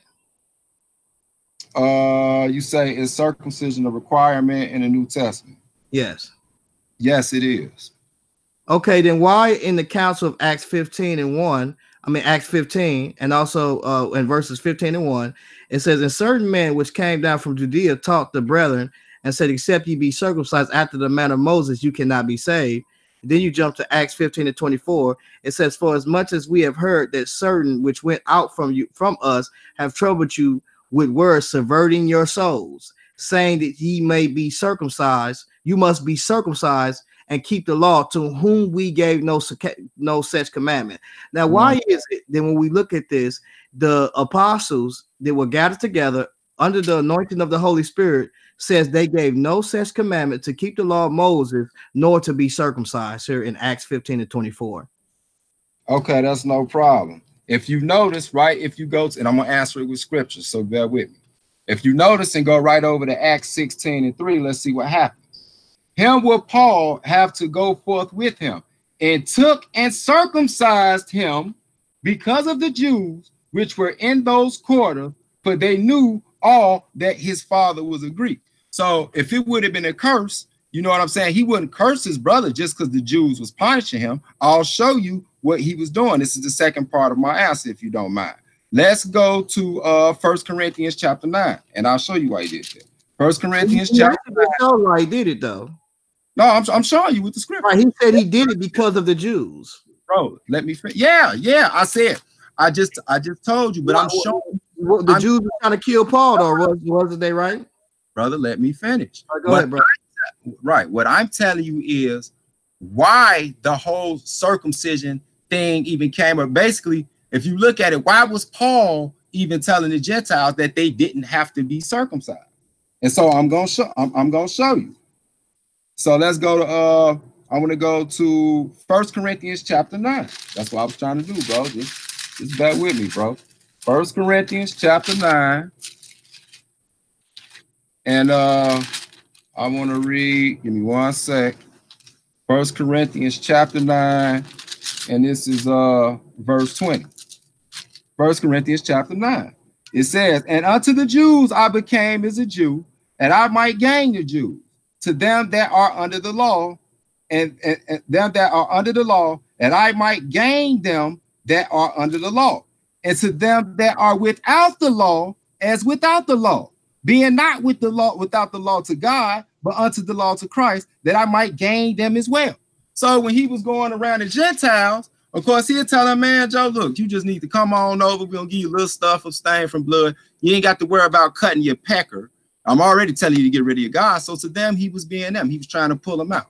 He's being All right, political. cool. So, all right, cool. So my question is this is uh twofold question here. Okay, first of all, I'm glad you went to this text because you kind of helped me out here. Is there a Cool. distinction between the law of Christ and also the law of Moses here? Uh, in certain in certain aspects, yeah. Like I said, you have to uh, contextualize everything. You can't blanket it. So then has the law of Moses been fulfilled according to uh, uh Matthew 5 and 17 when he says not one jot or tittle shall pass from the law to all be fulfilled? Say that again. has uh has has the law of Moses been fulfilled according to uh Matthew 5 and and uh 17 when he says not one jot or tittle shall pass from the law un- until all be fulfilled No, the sacrificial law, the schoolmaster, and all that has been fulfilled, and of course the prophecies. so it's passed from the so so so so basically has something you because you just confirmed that there is a distinction between the law of Christ and the law of I've been saying it. Okay, so if you're saying that, then why did you bring that argument up when we had the argument? I mean, why did you bring it up earlier when you said when you talked about the least of the commandments? Did Christ Himself uh, was he talking about uh, the, the the the the jot and the tittle laws of Moses, or was he was he talking about the New Testament laws of those teachings? How could he be talking about the New Testament laws when they weren't even written yet, unless he was getting them from the Old Testament? Well, actually, he was giving them right there on the mount. That's what I made in my opening statements. He was giving them things on the mount, teaching them on the mount. Remember, they wanted to hear from the prophet, and he was the prophet. No, if you go to when the young man asked him, How do I get eternal life? And he went straight to the Ten Commandments, which is the royal law that you call the law of Moses. That was the law he was reciting. That law is not done away with. No doubt, no trick. All right, all right. So uh shout out to both debaters. We're gonna keep this thing going with the closing. We're gonna start out with Brother G Con. We're gonna set this thing for five minutes. And uh whenever you're ready, brother, you can begin your closing. All right, cool. So uh, what we find out is, is a lot of these guys they can uh, scrutinize basically a lot of t- uh, text. Uh, well, not scrutinize. They can put out a lot of text, but then when you begin to scrutinize and look look at that and, and get into the text with a glass eye and exegete the text pro- text properly, then what you start to see is that these guys begin to crack and fold because they don't understand really the law, the terms, and the conditions. Now, when you look at First Corinthians 7 and 18, uh, I didn't get to ask, ask him that, but uh, Paul says, Is any man called being circumcised? Let him not become uncircumcised. Is any called in uncircumcision? Let him not be circumcised. So, what he's saying is, if you're called and you are circumcised, don't be uncircumcised in heart. And if you are called and you uncircumcised, you don't need to be circumcised because you are he says that you are uh, uh, under the you are uh, it's your priority to do the whole law and he actually stated this earlier when you look at galatians uh chapter um i believe it's chapter five oh, i don't know why this thing acting funny i'm gonna stop using this um chapter 5 and 3 for i testify again to every man that is circumcised that he is a debtor to do the whole law once again, you had Jews that was chasing believers around, especially Gentiles and uh, non non Israelites, and telling them that you have to be circumcised to keep the law, subverting the very souls of the Israelites. I mean, of the uh, non the Gentiles. And so once again, you have uh Mikael ben Israel doing the same thing, going around telling people that they got to be circumcised and they got to keep the Sabbath and when it says clearly in the scriptures that we read that you know you should you gonna have to mute your mic, brother. You flipping pages in the back. Oh, um, oh my bad. And so uh appreciate it, brother. And so clearly the text says, you know, in, in Galatians, it says that you know you observe days and months and times and years. Paul was afraid of them because he the, the very Gentiles who he had converted over, you know, they went back trying to be justified up under the law. And they had Jews like Mikael following them around, edging them on, trying to glory in their flesh, somehow to be circumcised. When Paul was just telling you why he did certain things for them to be circumcised because of fear of the Jews, but otherwise, God was not telling him to do that. And clearly, there is a distinction between the law of God, the law of Moses, and also the law of Christ. Christ came to instruct them uh, uh, some ways that we see that uh was was not former ways. Uh the Bible says that the Lord said, I will do a new thing. They will tell you, well, the Lord does not change, not well, he said that I will do a new thing. And he says a new covenant will he uh give unto the house of Israel, the house of uh uh both houses. And so we see that even in that covenant in the book of Hebrews, it said that that covenant has come to pass. And so we see that at the time, even though the temple was still standing, we still see that those that were in Christ was walking in that covenant, and those that was, was outside of that covenant, those people were up under the penalties of the first covenant because they did not believe on the one who can deliver them from the penalties of that first covenant, which was Christ. And so this brother, it, once you begin to get him up under the lens and deal with his information, and you know and, and, chase him down especially if you got time then you begin to see that, that what he's saying is not solid at all it has no foundation that he's standing on feathers and trying to think it's a, it's a solid uh, uh, rock or something like that uh, ezekiel 4 and 13 even the even Thus shall the children of Israel eat their defiled bread among the Gentiles, whether I have driven them. This was the lesson taught by the eating of the kind of bread described and cooked with the dung. The Jews were to eat the foul bread among the Gentiles while they will be driven by God, driven out by God. So clearly, we've seen already that the Jew that, that this brother couldn't possibly be eating uh, dealing with the dietary laws. He's worried about what you eat and it's a, a, really a heart condition if anything overall with christ the things that christ was talking about which was the the bigger things that he was dealing with. You worried about ceremonial things when your heart ain't even right. You know what i'm saying? I'm not saying that this brother's heart ain't right but i'm just saying in general this is what he was telling the jews. And so you know these are the things we have to look at. We looked in genesis 8 and 20 and also we got to understand that abraham was justified before he was even circumcised.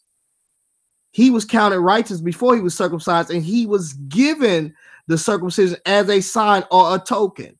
It's a sign and it's a token. And what is the sign and token? It points to Christ. Christ is the fulfillment of the very circumcision. Why do I need to cut in my flesh anymore when Christ has come? All right. All right. All right. Shout out to Brother G Con. We're going to hand this thing over now to Brother Mikhail. Whenever you're ready, brother, you could begin your closing.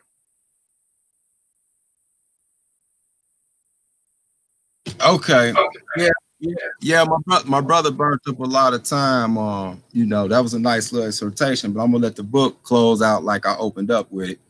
Um, now, like I was saying, um, if you go, the brother said a lot of things against the circumcision and a lot of things against. He already made it look like, according to uh Matthew chapter 15, that he went against Matthew 5 and actually taught people it was okay uh to eat whatever because it don't defile you, it's the heart. Now, what he was right is it is a heart condition because you can get a real bad heart condition if you eat too much pork. So let's look at this, Joe. John chapter 7, verse 22, what I read earlier. He kept bringing up the Sabbath day, if not, it's important. It said, Moses therefore gave unto you circumcision, not because it is of Moses, but of the fathers. And ye on the Sabbath day circumcise a man. Now, they look, they he, uh, Jesus telling them, man, y'all trying to catch me up for healing somebody on the Sabbath, but didn't y'all circumcise on the Sabbath? But let me show you how Jesus know how important both circumcision and the Sabbath is. Watch this, verse 23. If a man on the Sabbath day receives circumcision, that the law of Moses should not be broken. What? Jesus never promote breaking Moses' law? Listen to this. So that the law of Moses should not be broken. Are ye angry at me because I have made a man every whit hold on the Sabbath day? So he's telling you if the eighth day come up for you to be circumcised and it happened to fall on the seventh day, uh Sabbath day, you still get cut so that the law don't be broken. That means you're doing good on the Sabbath. This is what my uh, what Bible verse was that, brother? That was uh that that was John chapter 7, that was verses uh, uh, uh, 22 and 23. I like to also read something else. I like to read this. This is uh, a little secular history, and this comes from uh, an article concept for the modern day religious movement seen as Messianic Judaism, part of the series of Jewish Christianity, the Sermon on the Mount that he was talking about. And this is by Carl Bloch. Carl Bloch with the C. You spell his last name B L O C H. 1834 to 1890. Uh, I'm gonna go down to the meaty part because my time is short, and this is what it says. It says, uh, Christianity in the earliest stage, the community was made up of all those Jews who believed that Jesus was the Jewish Messiah. As Christianity grew and developed, Jewish Christians became only one stand of the early Christian community, uh, correct, characterized by combining the confession of Jesus as the Christ continual observance of the Torah and adherence to Jewish traditions such as Sabbath observance, Jewish calendar, Jewish laws and customs, circumcision, kosher diet, and synagogue attendance, and by a direct genetic relationship to the earliest followers of Jesus Christ, which cut everything that he said literally. But I got to go out with the book. So I want to make it even better because it was something he brought up earlier, and I hear a lot of people mention this, but they don't know what it means. Let's go to First Timothy. So I'm going to go to First Timothy, the fourth chapter, and I'm going to read this. It says, uh, speaking lies and hypocrisy, having their conscience seared with a hot iron, forbidden to marry, and commanding to abstain from meats, which God hath created to be received with thanksgiving of them which believe and know the truth. Now, this is what he needs to know. Is this talking about the dietary law? No, this is talking about a sect of monks who later the Roman Catholic Church picked up. If you go look up the Roman Catholic Church early practices, it tell you that they forbidded you from eating meat. Because if you notice what it say after that, and abstain from marriage. When did the law tell us to abstain from marriage? It told us to get married. Some even had more than one wife and produce. But Christians love to throw that out there too because they don't know how to read the Bible in context. It's never talking about a dietary law. If you go look up the Christians, uh, the Catholics right now, they had a time like you got like Lent and stuff, but they had whole times where if you want to be holy, you could not eat meat and you could not get married. That's why the Pope don't get married. That's why a nun does not get married for her to be considered holy. So, like I say, this was uh definitely um a fun debate. It was definitely, I believe, edifying for my people. Um, but I just got to say, you know, uh, thanks for the fight, G-Con. I think it was a good one. But if you ask me, bro, you kind of uh put your foot in your own mouth. But I definitely enjoyed it. And um, I say grace and peace to you. Uh, all right, all right, all right. Shout out to both the babies. Very interesting debate, very detailed and well, uh, well um, delivered debate on both parts. Uh, but it's time now to get into the interrogation family. So, with that being said, with that being said, who should I interrogate first, family? Man, get him. My, my, Okay, so uh the brother G Con is conceding. I mean uh Mikhail is conceding. Um G Con. What's going on, brother? Um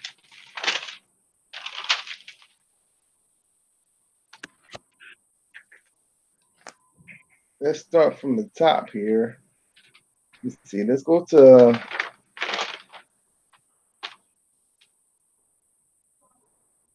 Let's go to Romans chapter 7. Uh, let's go to Romans chapter 7, verse 7. Romans 7 and 7.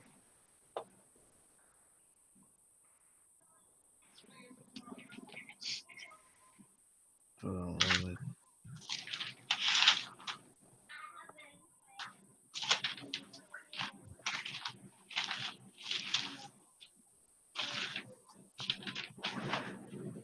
All right. It says, uh, What shall we say then? Is the law sin? God forbid. Nay, I had not known sin, but by the law. For I had not known lust, except the law had said, Thou shalt not covet. But sin that but sin taking occasion by the commandment wrought in me all manner of con- conception. Well, what's that word? Come sit, Con- uh, concessions or something like that. All right. For without the law, sin was dead. For I was alive without the law once, but when the commandment came, sin revived, and I died. And the commandment which was ordained to life, I found to be unto death, for sin, taking occasion by the commandment, deceived me, and by it slew me. Wherefore the law is holy, and the commandment holy, and just, and good. Was then that which is good made death unto me, God forbid, but sin, that it might appear sin, working death in me by that which is good, that sin by the commandment might become exceedingly sinful. So, brother, um, what are you getting out of these verses here? Um, this is basically uh Paul uh up under the law and him being up under the law having the emotions that we see of the motions of being in the flesh, uh, the spirit war and against the the flesh battle, and so this is what he's going through. And so he talks about how, you know, that before the law came, he was alive, but when the law came, it showed him that he was in sin. It's just like if I always make the example to where you or when you're driving and you're doing a speed limit. I mean, you're driving, you're just driving. If you don't see a speed limit, you're just driving. But eventually, if you have a speed limit and then you're doing it is posted and written and you're doing over that speed limit, then you have to come into those guidelines. If not, then you're going to be penalized. So this is basically what he's talking about. He's talking about that once the law came, it killed him due to the fact of it showed him that he was in sin and therefore he had to be judged by the law. So what law is he making reference to? He's making law to the law of Moses. All right. So um do you make a distinction between the laws of Moses and the laws of Christ? Yes, there's a distinction, as the brother noted earlier to this as well. All right. So um explain that distinction. All right. So um one of the distinctions that we see is in Romans, I mean it's uh, in uh John, I mean, Matthew chapter 5, when you start looking at some of the things that Christ is teaching, those are things that we see that are distinct from what the law teaches, uh, the law of Moses. And so one of the things we look at as if um, when he talks about um, to love those or pray for those that despitefully use you, uh, those are things that we see that in the law of Moses, it does not happen. Uh, also, too, uh, when Christ, when the lady came to Christ, and and and Christ, um, they he called, they knew that he was really the judge in general, because if he's calling himself to be the judge, and he said that his words will judge them, they was looking for him to judge to to to judge the woman, but he says grace and truth came by him. And so he did not come to do that. And he says, if any man without sin cast the first stone. So he's showing them there that listen, that he will have mercy uh uh before anything that he he will his mercy is there and so that's what he's doing right there he says grace and truth. So he's coming to have mercy. Uh brother Mikhail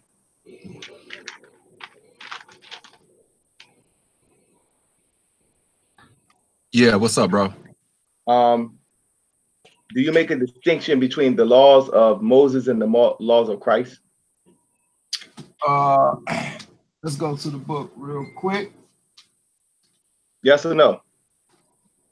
Uh, the, on, the only distinction I make about the laws of Christ is that he expounds on it spiritually. For example, when he say, uh, if a man look upon a woman, you know what I'm saying? He say that uh, you've already committed adultery in your heart.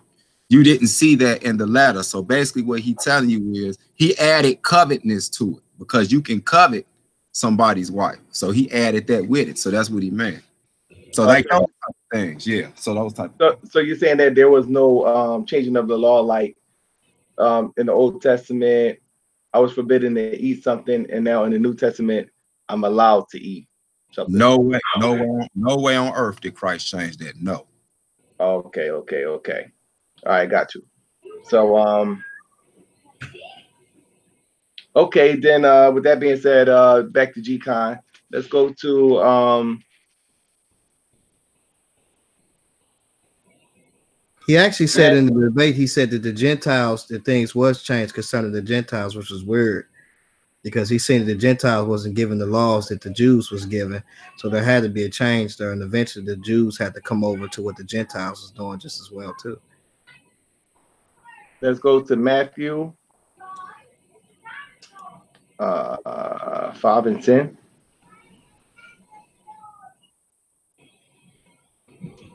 Matthew 5 and 10. Yeah.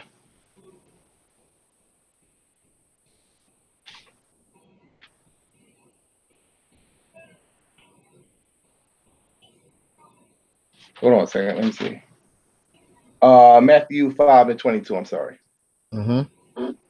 Matthew 5 and 22, it says, But I say unto you, whosoever is angry with his brother and without cause shall be in danger of the judgment, and whosoever shall say to his brother Raca shall be in danger of the council, but whoever shall say thou fool shall be in danger of the hellfire. I guess that's what he was already making reference to when he was saying like, you know, um, um, the the slight changes uh, of the law that Christ made.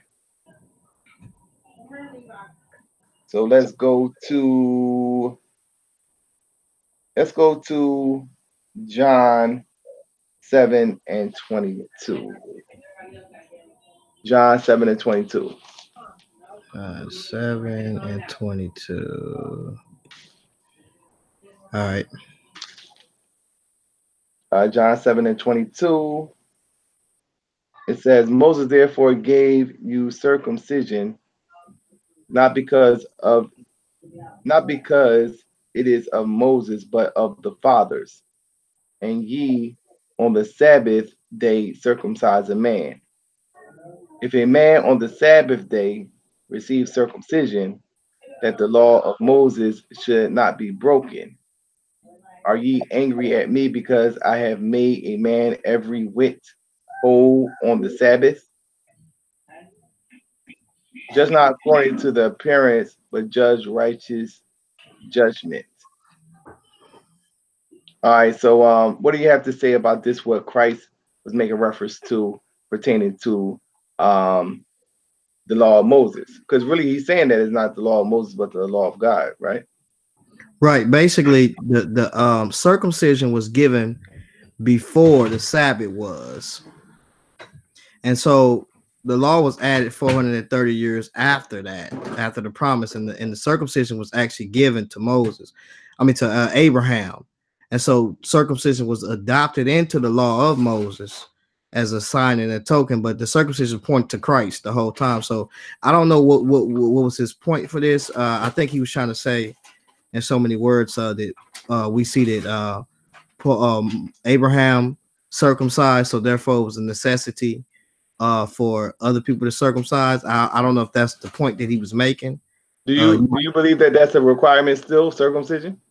Uh, not actually, because uh, it doesn't cause you to be righteous. Um, when we look at um, it's a it's a sign and it's a token of Christ. It points to Christ. I And so think that's what his point was. I think his point is that that is part of uh, the covenant, right? Right. That's that's what he would. That's what he would. He would. Um, he would say. Um, as far as the um, Moses therefore gave unto you circumcision, not because it is of Moses, but of the fathers. Right, right. And so when we when we start looking at, at at what circumcision is and why those who up under the New Testament wasn't allowed to do it, then we start going to chapters like Acts chapter 15. That's when I took them to Acts 15 when it says, "And certain men came down from What you think Judea." Christ is talking about right here, though? Right. That's that's basically what he was talking about. In other words, he's telling them, listen, Moses gave you circumcision, right? And it was not of Moses, but it was of the Father, right? That's what it was of. So I have I have no, you know what I'm saying, no no problem with that at all. I'm trying to make sure what is he trying to reference here? Is he saying that circumcision is something that is needful today, or is that is that his argument, or what is it? Was there an abolishment of the circumcision? Yeah, the New Testament, uh, the New Testament does not command circumcision. So when was this abolished? Uh, let's look at it over here in uh, Acts 15 and 1 when they had the council of it. It says, This is Acts 15 and 1. And certain men which came down from Judea taught the brethren and said, Except ye be circumcised after the manner of Moses, ye cannot be saved. Acts 15 and 24, the, the, the couple verses down says, For as much as we have heard that certain which went out from us have troubled you with words, subverting your souls, saying, Ye must be circumcised and keep the law, to whom we gave no such commandment. And so then we look at Paul. Paul is telling you that if a person, he telling you that if a person desires to be circumcised upon the, uh, by the law of Moses, they must do the whole law of Moses. And then Paul also states in Romans, he says that a man, he says Abraham was justified uh, before he was circumcised. And it says that we can walk in the steps of Abraham, being yet circumcised and be justified just as well. We don't have to be circumcised because Christ has already come, who is the circumcision and who will circumcise the hearts. And this is why he was saying it's not what entered into a heart that defile a man. I mean, what enter into the body that defile a man, but what come out comes outside of the heart. So Christ is coming to deal with the heart, and he's the circumciser of the heart. So what this brother's saying, it doesn't even make any sense what he's saying because it's not even nothing that's moral, anyways. Uh, brother Mikhail. Yeah, I already know what you asked me. Is that what I meant by uh taking you there? Yeah, exactly. And this goes against totally what G Con just said. The reason I brought that up is because of this. And G Con does agree that this is future. Ezekiel chapter 44 and verse 6. And this is what it reads. And thou shalt say to the rebellions, even to the house of Israel, Thus saith the Lord God, O ye house of Israel, let it suffice you in all your abominations and that ye brought into my sanctuary strangers, the Gentiles he was talking about, uncircumcised in heart and uncircumcised in flesh, to be in my sanctuary to pollute it. Even my house, when you offer your bread and fat and blood, they have broken my covenant because of your abominations. Verse 9 Thus saith the Lord God, no stranger uncircumcised in heart nor uncircumcised in flesh shall enter into my sanctuary, or any stranger that is among the children of Israel. So he just killed himself again. That's what I was trying to tell you. So you, you got to get cut because you have to get cut to even get in the kingdom. All right, thanks a lot, Billy Mikhail. Um, you can now go to um, let's go to uh, let's go to Corinthians. Let's go to First Corinthians, uh, chapter nine, verse twenty. Right, but uh, let me respond to that real quick before you do that because um, uh, first of all, when you die and you die and you're uncircumcised, um, what what spiritual temple or what temple that they gonna be going into anyways? That's temple for natural fleshly people in the in the millennium. That has nothing to do with you or anybody else. Just in that case, you might as well start circumcising on the eighth day, which we don't do when we have children, anyways, and that's the law too. So therefore, your circumcision is counted as uncircumcision if it's not according to the law. Go ahead, brother. Uh, chapter one, chapter nine, verse twenty, Corinthians, First Corinthians. It says, "And unto the Jews I became as a Jew." That I might gain the Jews to them that are under the law, as under the law that I might gain them that are under the law. To them that are without law, as without law, being not without law to God, but under the law of law to Christ, that I might gain them that are without law. To the weak became I as weak, that I might gain the weak. I am made all things to all men, that I might be all means save some. But that I might by all means save some. What are you getting out of this, brother? Okay, as we can see, the Jews, I became a Jew. Now, Paul is already, if he if he's walking as as the Jews, and this is something that he's teaching you know, uh, every day, then why is it he says I became a Jew? He says that I might gain the Jews. That's why he says he did that. But he knows that really in reality, that there is no that, that the burden that we see or the yoke that we see that was placed on their necks, which was the law of Moses, that it's, it's, it's God has actually torn that, ripped that. That's why he went into the veil and ripped that, tore that to pieces it says to them that are under the law as under the law, right? That I might gain them that are under the law. So when he was among them, he did what they did. But we see why he did what they did because he wanted to gain them. And also we see that there was a fear there among him because they was chasing him all around Asia and, and, and also Africa or whatever the place may be in Rome, Europe. Then when we look what he says to them that without law as without law, but he says he stops there being not without law to God, but under the law of to Christ. So there's a distinction between under the law, which is the law of Moses, and also uh, under the law to Christ. Did Michael admitted that, which New Testaments follow up under, that I might gain them that are without law. And so Christ is dealing once again with the circumcision of the heart. eat not, handle not, all these carnal things that we see of meats and stuff like that, that's not a moral condition. That don't defile a man. What defiles a man, what comes out of his heart, and that's evil things, covetous, with the things that he spoke on earlier. So he says, I became weak that I might gain them that were weak. He says he's doing all of these things that he might save some. And and and this I do for the gospel's sakes, that I might be partaker thereof with you. Paul in Romans chapter 9 actually expounds on that, that he can wish himself accursed, that his brethren might be saved.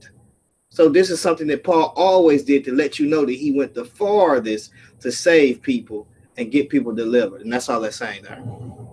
So you're saying that um I'm trying to understand. I'm trying to understand at what point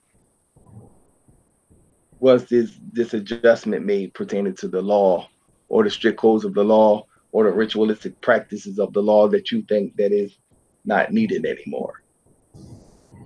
Well, mainly among the Christians, it was made early on, and also some some apostles and certain things that we see that eventually later on it came among them, especially when the temple was destroyed.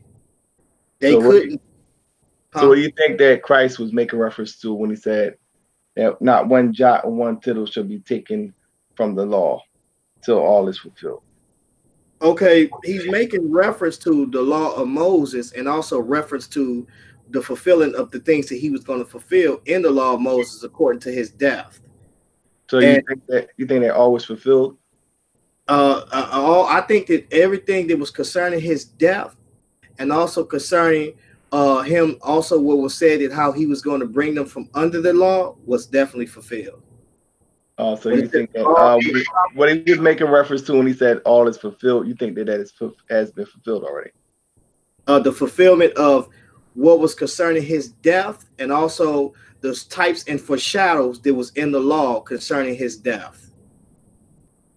So you think you believe that through the death of Christ, that um it kind of separated us from having to practice or being subjugated to um a lot of the tenets, a lot of the harsh tenets of the law, or a lot of the strict codes of the law. Uh, definitely because when we look at, for instance, one of the things we look at is um Leviticus uh chapter 18. And and uh look what it says. Ye shall this is 18 and 4. Leviticus 18 and 4. Ye shall do my judgments and keep my ordinance to walk therein. I am the Lord your God. Ye shall therefore keep my statutes and my judgments, and which if a man do, he shall live in them. So what Paul is showing you here is, I mean, what the Old Testament scripture is showing you is that you're not even under the judgments that you were supposed to be judging by. Remember, if a person don't keep the Sabbath day, he's supposed to get stoned. He's supposed to get killed. But you can't do that now.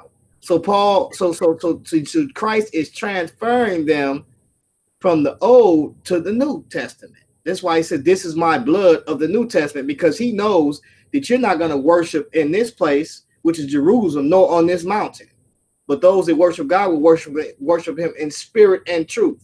So there's no way you can do these civil things and call yourself trying to uh, fulfill the law of Moses, because you go that ain't gonna work. He says he, he already told you, you know. So when Christ is saying these things, there's certain things that we see that has come into the New Testament, but all of the things we see in the Old has not come into the New Testament, and therefore your jot and tittle is is is is, is, is has been changed, and heaven and earth had to, would have had to have passed in Christ. All right, thanks a lot, brother. We're gonna move forward to brother Mikael. Brother Mikael, what's good? I'll meet your mic, brother. Oh, what up, bro? My bad. All right. All right. So, Brother Mikael, do you believe that the law of Moses has been fulfilled? No. Um, why so? Well, it's too many reasons. Um, as you see, a couple of the things that you caught on and write down. Good, you got a good ear. where you never see Jesus saying, you know, do away with these. Even the question that you asked about the passing away of the heaven and earth. Now, I noticed G Con didn't bring it up during this debate because he knew I was on top of it, but he likes to quote Josephus in public because uh, Josephus says that heaven and earth meet the temple was destroyed. But if I take you to the scriptures and see what the Israelites, uh, even though he was an Israelite, the Israelites in that time said heaven and earth was, it was the creation of our God. And so, no, if if the law of Moses or if the Ten Commandments or if the royal law was done away with, when the man asked Jesus, "How do I obtain eternal life?" he wouldn't have went straight to the Ten Commandments. It makes no sense. And also, may I add that you remember, uh, G-Con, like I do, believed that Jesus was a prophet like unto Moses, but yet in his debate, he almost tried to make it seem as if he was opposed to Moses, that he was a total different than Moses and was against. Him. It makes no sense.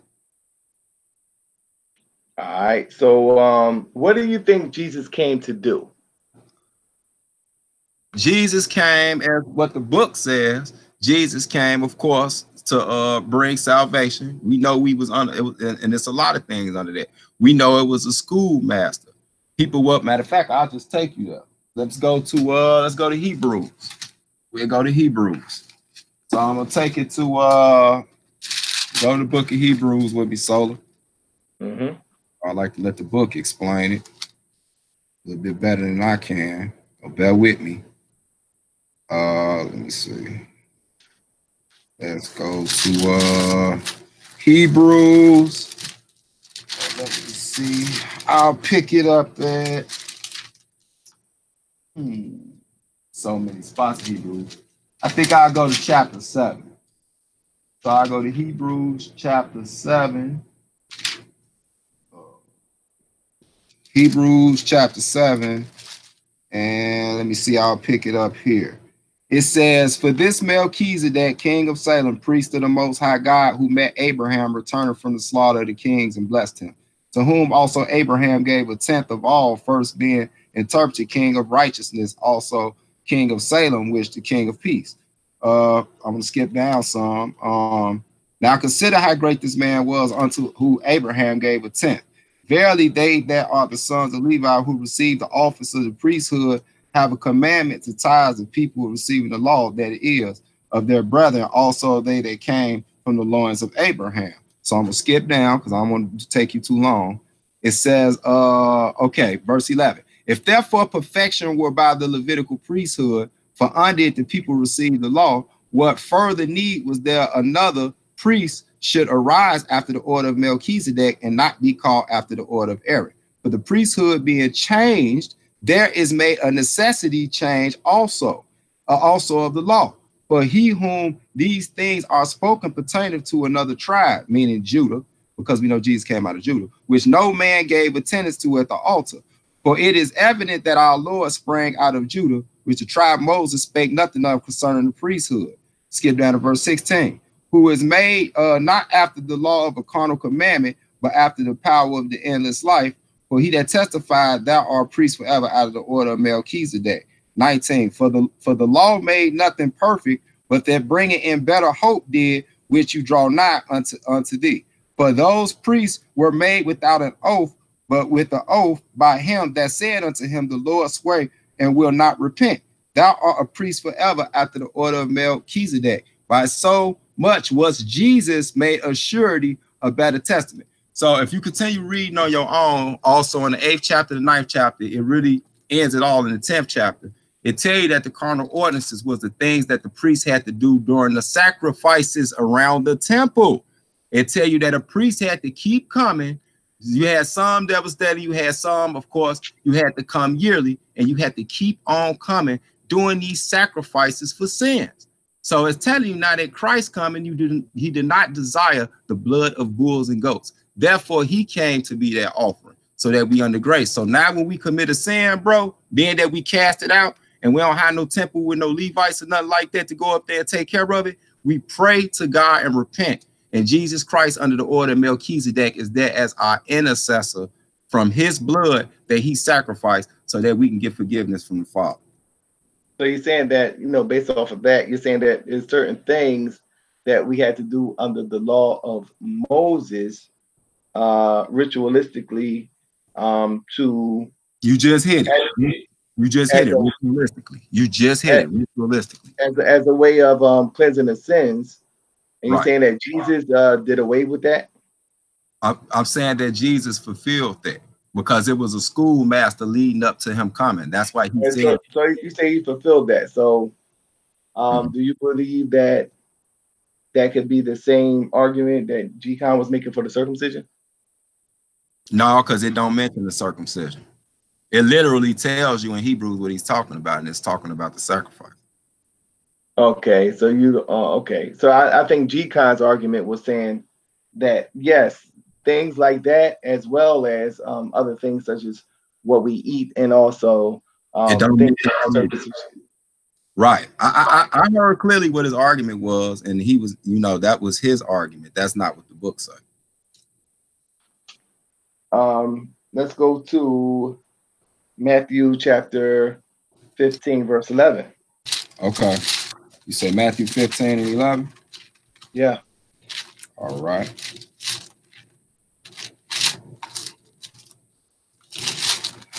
Okay, uh my bad. Go ahead. Uh, it says, Not that which goeth into the mouth defileth a man, but that which cometh out of the mouth. This defileth a man. Mhm.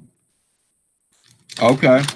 And again, my answer is the same as that I told him. You know, I'm gonna be direct. I ain't gonna do all that long talking. I'm gonna let the book answer. Let's look at the subject. The subject was then came Jesus, scribes, and the Pharisees, which were Jerusalem, saying, Why do thy disciples transgress the tradition of the elders? For they wash not their hands when they eat bread. So the whole subject was you got these dirty hands, you're getting you're defiling all the bread that's down here. Other people got to dig their hands in there and eat bread, and then you're putting it in your mouth and you're eating it. And Jesus is saying, Man, look, this bread is not defiled because it got dirt on it, or this meat that you eating is not defiled because it got dirt on it.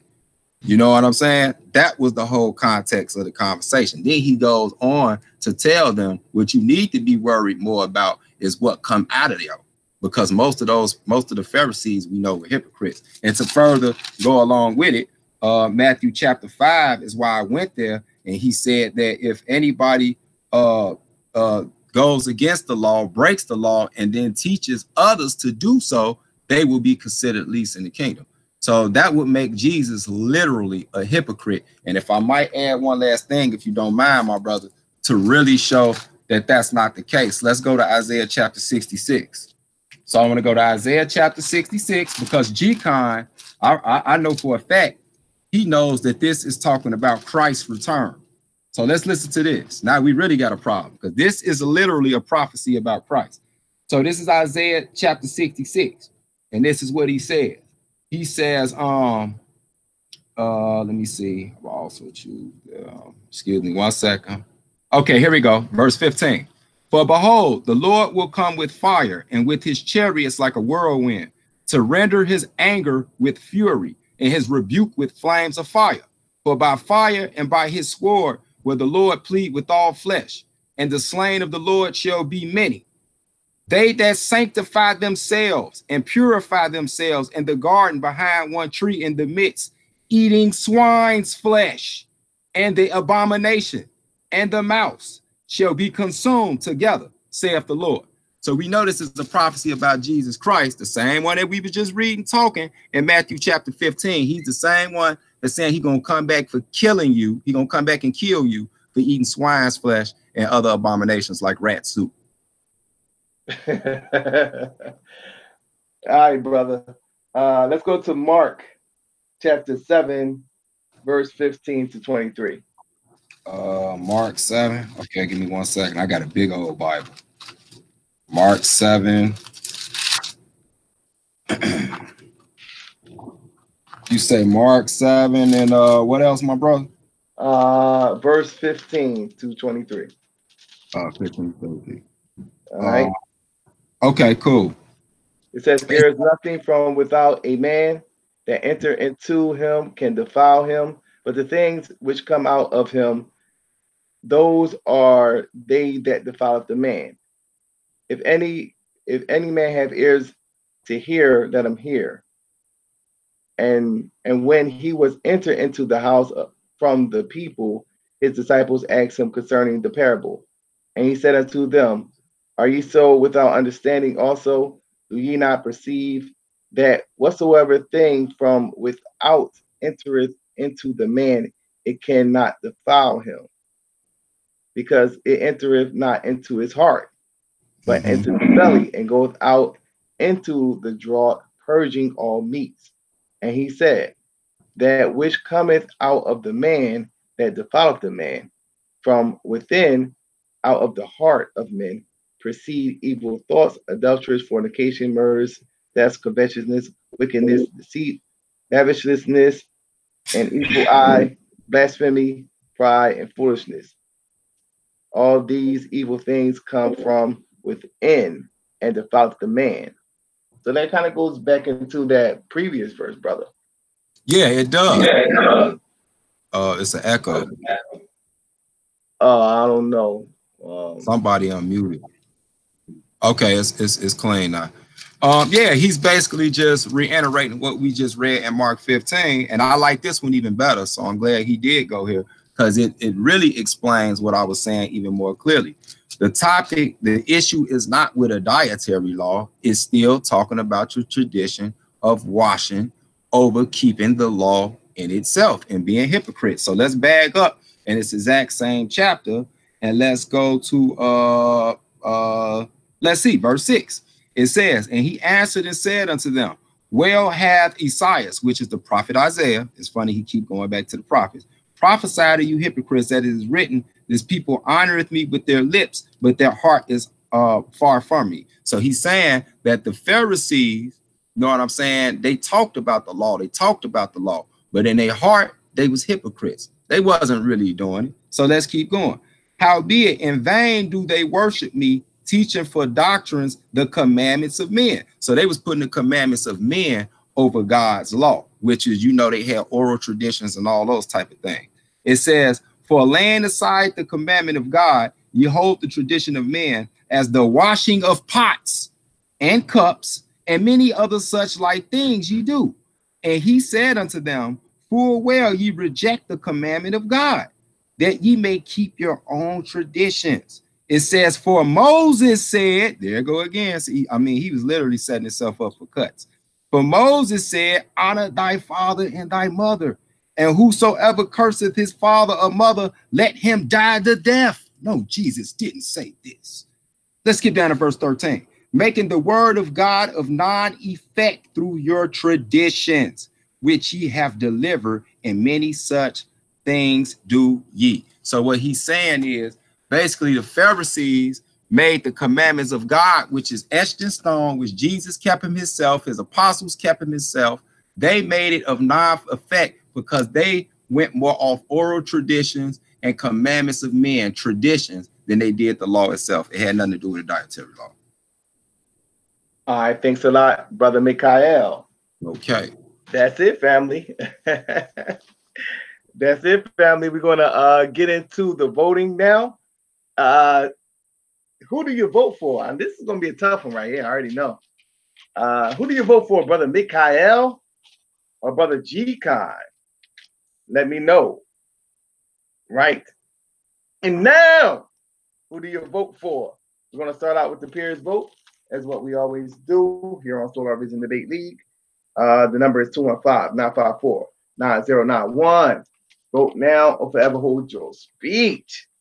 This is the Solar Vision Debate League, man.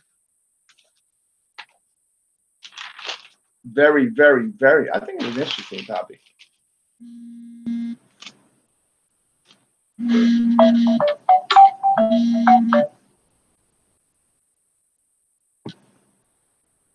Christopher Harris. Peace, family. Who you vote for? I'm gonna go Mikael. G-Con had a track cruise on all night. Jesus never existed. Peace. as Chris is always throwing shots before he opts off the line. Okay, so we got one vote for Mikhail.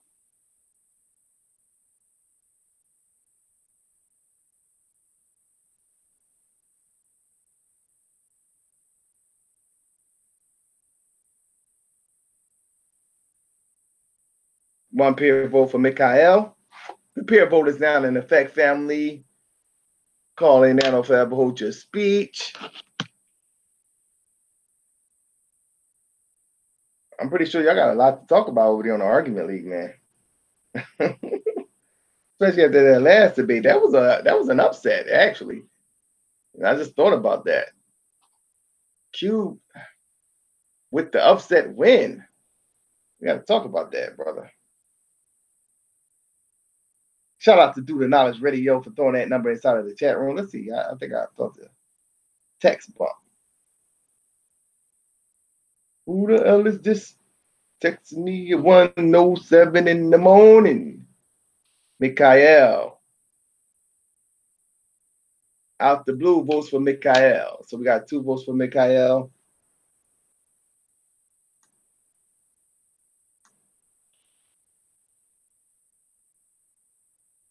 All right. The peer vote is now in effect. Vote now to hold your speech, family.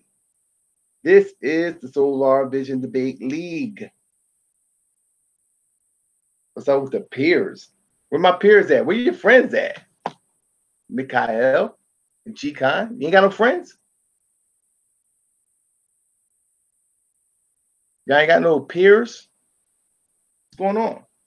Man, I, I don't know, man. I don't know. Probably don't want to touch it, man. This is a tough one. I, I say this is a very close one. You know, both of y'all made some very interesting points, and uh, so you know, leave it to the judges. We always do the dirty work. Somebody, you know, has to point the finger one way or another at someone.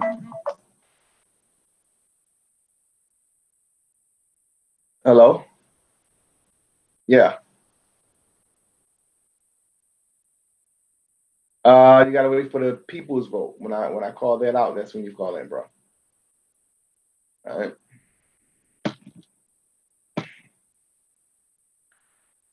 Peace, family. The peer vote is now in effect. Members of the debate league only. Hey, we'll get this thing another minute or so before we move forward. Thus far, we have two votes for uh, Mikhail and zero for G Con.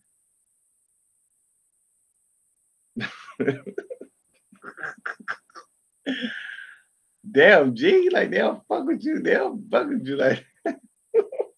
You know, I'll be giving them that. I give them that work.